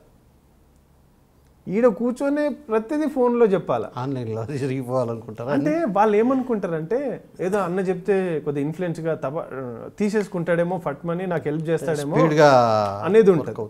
కానీ నేనేమంటున్నా అంటే ఏ పొలిటీషియన్ కైనా ఉండదు ఇది నేను ప్రతి ఒక్కరికి చెప్తున్నా. వాస్తవంగా అంటే పబ్లిక్లో ఒక డిఫరెంట్ ఐడియాలజీ రావాలి. ఒక డిఫరెంట్ ఒపీనియన్ కావాలి. ఈరోజు నాకు ఏమైనా ఇమ్మీడియట్ యాక్సిడెంట్ అయితే నేను ఏం చేస్తున్నా? డాక్టర్ దగ్గర పోతున్నా. మరి నాకు సేమ్ అదే విషయం ఏదైనా క్రైమ్ జరిగిందో లేకపోతే ఏదైనా ఇబ్బంది జరిగిందో అంటే ఎక్కడ పోవాలా? పోలీస్ స్టేషన్కి వెళ్ళాలి. లేకపోతే సర్పంచ్ దగ్గరికి వెళ్ళి సార్ నాకు ఇట్లా అయింది నాకు ఇది పరిస్థితి అని అంటే సర్పంచ్ గారు ఫోన్ చేసో ఉత్తరం రాసో పంపిస్తాడు. ఈ బేసిక్ ఈ విషయాలన్నీ మర్చిపోయి ప్రతిదానికి మా లీడర్ ఉన్నాడు ప్రతిదానికి ఫోన్ చేయడం. ఈ గల్ఫ్లో విషయాలు కూడా నేను చాలాసార్లు చెప్పాను సార్ నాకు ఏజెంట్ మోసం చేసిన ఏజెంట్ మోసం చేసినాడు. ఏజెంట్ ఎట్లా మోసం చేశాడు ఆయన నీకు చెప్పలేడా? ఏ వీసా తెస్తున్నాడో ఎట్లా పోతున్నాడో నీకు చెప్పలేదా? అంటే చెప్పిండాను మరి ఇంక ఏజెంట్ మోసం చేసాడేంది? ఊరికి నీవు అన్యాయం జరగగానే ఏజెంట్ అంటున్నావు. మరి మంచిగా పోయి బతుకుతున్నప్పుడు ఏజెంట్కి ఫోన్ చేసి అన్న నీ వల్ల నేను వచ్చి నేను ఏమన్నా నీ కడుపు చల్లకుండా నేను బాగుపడినా అని చెప్పి ఒక్కడైనా కనీసం ఏజెంట్ని అభినందిస్తురా? అది లేదు మరి. అంటే ఏమన్నా చిన్న ఇట్లా ఏమైనా జరగంగానే ఏజెంట్ ఏజెంట్ మోసం. లేదంటే చిన్న గా కాన్స్టిట్యున్సీలో ఏమైనా జరగంగానే లీడర్కి ఫోను. అంటే జనాలలో కూడా ఒక అవేర్నెస్ సెట్ అట్లా తయారైంది. నేను అదే అంటున్నా సార్. ఇప్పుడు మీరు అన్నారు మక్తల్లో ఉంట ఉండట్లేదు నువ్వు అంటే నేను మక్తలో కాదు సార్ మెకానిజం మీద నేను వర్క్ చేస్తా అని చెప్తున్నా. మెకానిజం ఈరోజు నిజంగా ఏమన్నా ఏం జరిగింది? ఎక్కడ ఏం కావాలా? ఏమైనా హాస్పిటలా? అడ్మినిస్ట్రేషన్ ప్రాబ్లమా? లేకపోతే రెవెన్యూ ప్రాబ్లమా? డిపార్ట్మెంట్ ప్రాబ్లమా? అని మీకు ఏముంది చెప్పండి. దాని మీద నేను ఐఎమ్ దేర్. నా శక్తి మేరకు నేను ఇంటరాక్ట్ అవుతాను. ఈవెన్ కలెక్టర్ వరకు నేను ఎక్కడ ఇంటరాక్ట్ కావాలో అక్కడ ఇంటరాక్ట్ అయ్యి చేస్తానని చెప్పాను సో అది ఆ నమ్మకం వాళ్ళకు ఉంది. ఆ నమ్మకం అయితే జనరల్గా ఉంది. కొద్దిగా చదువుకున్నాడు కొద్దిగా టాలెంటెడ్ ఇంటరాక్ట్ అవుతాడు నాలుగు భాషలు మాట్లాడతాడు అన్న నమ్మకం అయితే మా ప్రజలకి మా ఏరియా వాళ్ళకు ఉంది. వాళ్ళు కూడా కోరుకుంటున్నారు దేవేంద్ర రెడ్డి లాంటి వాడు ఎమ్మెల్యే అయితే న్యాయం జరుగుతుంది అని చెప్పేసి కూడా వాళ్ళకి ఆ విశ్వాసం కూడా ఉంది. ఒక మంచోడు కొత్త ఫేజు ఇక నేను ఒకటే చెప్పిన చూడుపోయి నేను డబ్బులు ఖర్చు అన్న డబ్బులు ఈడ ఈ ప్రోగ్రామ్ అవుతుంది ఆడ ప్రోగ్రామ్ అవుతుంది ఏమైనా డబ్బులు పెడదామంటే బ్రదర్ మనం ఒక్క దగ్గర ఇవ్వడం స్టార్ట్ చేస్తే ప్రతోడు అదే అలవాటు పడతాడు. ప్రోగ్రామ్ చేస్తున్నాడు అని అంటే ఆ వ్యక్తికి తెలియాలా? బడ్జెట్ ప్లాన్ చేసుకొని ప్రోగ్రామ్ చేసుకోవాలి. సరే మనల్ని రమ్మంటాడా? మన వల్ల ఏమన్నా అయితే నచ్చితే మనకు ఆ ప్రోగ్రామ్కి మన వంతు కూడా తులమో ఫలమో ఏదైనా సహాయం చేస్తామని చెప్పేసి. ఇప్పుడు ప్రతి వ్యక్తికి కూడా నేను ఒకటే చెప్పిన. నేను భూ కబ్జాలు చేసో డబ్బులు సంపాదించలేదు. లేకపోతే నేను రియల్ ఎస్టేట్ దందా చేసి డబ్బులు సంపాదించలేదు. లేకపోతే ఉస్క దందా చేసి నేను డబ్బు సంపాదించలేదు. నేను హార్డ్ అండ్ మనీ నాకున్నటువంటి క్వాలిటీని నేను ఒక మంచి కార్యక్రమానికి నన్ను నేను నా లైవ్లీవుడ్ నేను కాపాడుకుంటూ సమాజంలో కూడా ఒక అవగాహన రావాలన్న ఒక విధంతో నేను రాజకీయాల్లోకి వస్తున్నా తప్ప నేను అవినీతి సొమ్ము సంపాదించుకొని దాన్ని ఎట్లా ఖర్చు పెడదాం నన్ను నేను ఇప్పుడు ఓ పది ఎకరాలు కబ్జా పెట్టుకొని ఓ ప్రైమ్ ల్యాండ్ ఓ కమర్షియల్ ల్యాండ్ పెట్టుకుంటే నేను ఈరోజు ఆ డబ్బును ఆ ల్యాండ్ను కాపాడుకునేకి నేను రాజకీయాల్లోకి వస్తుంటే. నా మీద కేసులు పెడతారేమో అని. నాకేం భయం? నేను చెప్పా చాలాసార్లు విలేకరులతో కూడా మా దగ్గర ప్రెస్లో కూడా చెప్పిన బ్రదర్ నేనైతే హెల్ప్లెస్ నేనేం మీకు పది మంది ఉన్నాను ఐదు మంది ఉన్నాను నేను ఏమైనా రూపాయి ఇస్తే నా మనసుతోనే ఇస్తే మీరు తీసుకోవాలి లేదంటే ఓపెన్గా రాయాలి. ఎందుకంటే వాళ్ళకు కూడా తెలుసు ఈయన మీద ఏం రాస్తే ఏం రాస్తాం యాంటీగా. అవునబ్బా ఈ కబ్జాలు ఉన్నాయి లేకపోతే అది ఉన్నాయి ఇసుక దందా చేస్తాడని ఏమో రాస్తారా? సో మీరు ఏ దందాలు చేయడంలా కాంట్రాక్టులు చేయడంలా ల్యాండ్లు కబ్జాలు పెట్టడంలా మరి మీరు ఎట్లా సంపాదిస్తున్నారు రెవెన్యూ ఆదాయం ఫ్యామిలీ నడవాలి ఎస్ మాకంటూ వీ హ్యావ్? మా తమ్ముడు చేస్తా ఉన్నాడు ఆయన ఈజ్ ఇంటూ సివిల్ వర్క్స్ నేను ఫారిన్లో ఉన్నాను ఒక ఐదేండ్లు మేము కొద్దిగా సిండికేట్లు అక్కడక్కడ కొన్ని ప్లాట్స్ అవి ఇవి కొన్నాము. వాటిని ఇప్పుడు ఒక్కొక్కటి ఒక్కొక్కటి తీసేస్తూ మేము ఖర్చులు డెవలప్మెంట్ సైడ్ అట్లా చేసుకుంటున్నాము. అట్లా చేస్తున్నాం. అంటే హెవీ అమౌంట్స్ మనం ఈరోజు పెట్టి హంగామా చేసే రాజకీయాలకి నేను వ్యతిరేకం అని చెప్పిన మా యూత్ కూడా పాపం చాలా మంది నిస్వార్థంగా వాళ్ళకు ఒక్కోసారి భోజనాలు కూడా మనం చేసే టైం ఉండదు. వాళ్ళు కూడా ఎప్పుడు నన్ను అన్నా ఇప్పుడు మనం భోజనం చేయాలనే టైప్ కూడా కాదు. చాలా the best youngsters are with me. Full support చేశారు అంతా ఎడ్యుకేటెడే మళ్ళీ. మినిమం డిగ్రీలు ఎంబీఏలు చేసిన వాళ్ళు ఎంకామ్లు చేసిన వాళ్ళు సిఏలు చేసిన వాళ్ళు బీటెక్లు చేసిన వాళ్ళే ఉన్నారు మా దగ్గర. అంటే ఉన్న నేనేమన్నానంటే పది మంది అయినా సరే నిక్కచ్చిగా ఉండేటటువంటి వాళ్ళు నిబద్ధతగా ఉండేటటువంటి వాళ్ళు రండి. మనం మారుద్దాం. మన వంతు ఏమన్నా అయితే మంచి చేద్దాం సమాజానికి అని చెప్పండి. వాళ్ళు అదే మాటతో ఈరోజు కట్టుబడి ఉన్నారు అంతే. సో మీరు మళ్ళా ఇదంతా లా వైపు ఎందుకు పోయారు మీరు? లా మీద ఎందుకంటే నాకు కూడా కొన్ని చట్టాలు తెలుసుకోవాలి. ఇప్పుడు నేను ఒక ట్విటర్ని పెట్టుకుంటే తెలుసుకోగలుగుతానేమో. కానీ నాకు కూడా ఒక ఒక- సర్టిఫికేషన్ ఉండాలి డెఫినెట్గా రేపు నేను నేనంటూ నేను సొంతంగా కేసులు నేను అవసరమైతే మీరే ఎస్ వాదించాలన్నా కూడా చట్టాల మీద ఒక మంచి అవగాహన రావాలన్నా కూడా నేను చదువుకోవాలన్న ఒక ఉద్దేశంతో నేను ఇంకొకరికి ఆదర్శం కూడా కావాలన్న ఒక ఉద్దేశంతో నేను లాలో జాయిన్ అవుతున్నాను సో ఇప్పుడు తెలంగాణలో బస్సు యాత్ర స్టార్ట్ చేశారు. ఈ ప్రభావం ఎట్లుంది? నెక్స్ట్ ఫేజు మీ జిల్లాకే వస్తూ ఉన్నట్టు అవును. అంటే ఈ ఇంపాక్ట్ ఎట్లుందంటారు? బ్రహ్మాండంగా ఉంది సార్. బస్సు యాత్ర చాలా బాగా సక్సెస్ అయింది వాస్తవంగా. మంచి ఒక టీమ్ స్పిరిట్ని నింపింది బస్సు యాత్ర ద్వారా. క్యాడర్లో ఒక మంచి జోష్ని ఇచ్చింది. యూత్ మొత్తం రెజ్యువనేట్ అయ్యింది. క్యాడర్ మొత్తం రెజ్యువనేట్ అయింది. సో అట్లాంటి యాక్టివిటీస్ ఇంకా మొత్తం రాష్ట్ర జరగాలి. ఆ మధ్య కొద్దిగా బిజీ స్కెడ్యూల్లో సార్ కంటిన్యూ చేయలేకపోయారు దాన్ని. బట్ డెఫినెట్గా మళ్ళీ అది it will be start in second phase. Third ఫేజ్లో మాది ఇప్పుడు వస్తుంది. ఖమ్మము ఇటు నల్గొండ మహబూబ్నగర్ ఇటు వస్తుంది. తప్పకుండా ఇంపాక్ట్ ఉంటుంది. చాలా మంచి ఇంపాక్ట్ వస్తుంది దానికి. సో గ్రూపులు కూడా అన్నీ కలిసే అవకాశం ఉందంటారు లీడర్స్ ఒక వేదిక మీదకి వచ్చినప్పుడు న్యాచురల్గా కార్యకర్తలు కూడా ఓకే మా లీడర్ లైక్లీ డిస్లైక్లీ ఖచ్చితంగా కలవాల్సిందండి డెఫినెట్ కదా. ఇక ఒక్కసారి డిస్లైక్ ఉన్న లైక్ లకే వచ్చేస్తాడు అంతే ఇక కలిసిన తర్వాత. అనివార్యం. అనివార్యం అయిపోయినా కూడా ఇక బాగుంది అంటే చూసే వాళ్ళకి ఒక మంచి యూనిఫామిక్గా కనిపిస్తుంది.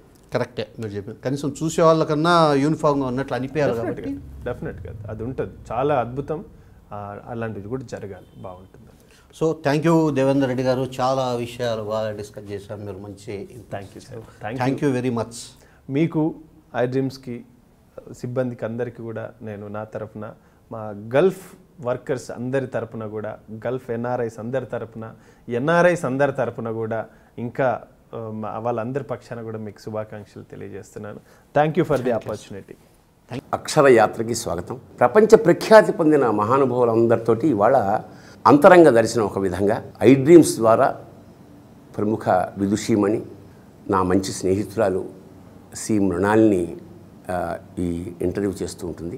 చూడండి ఆనందించండి ఆస్వాదించండి స్పందించండి. శుభం భూయాత్.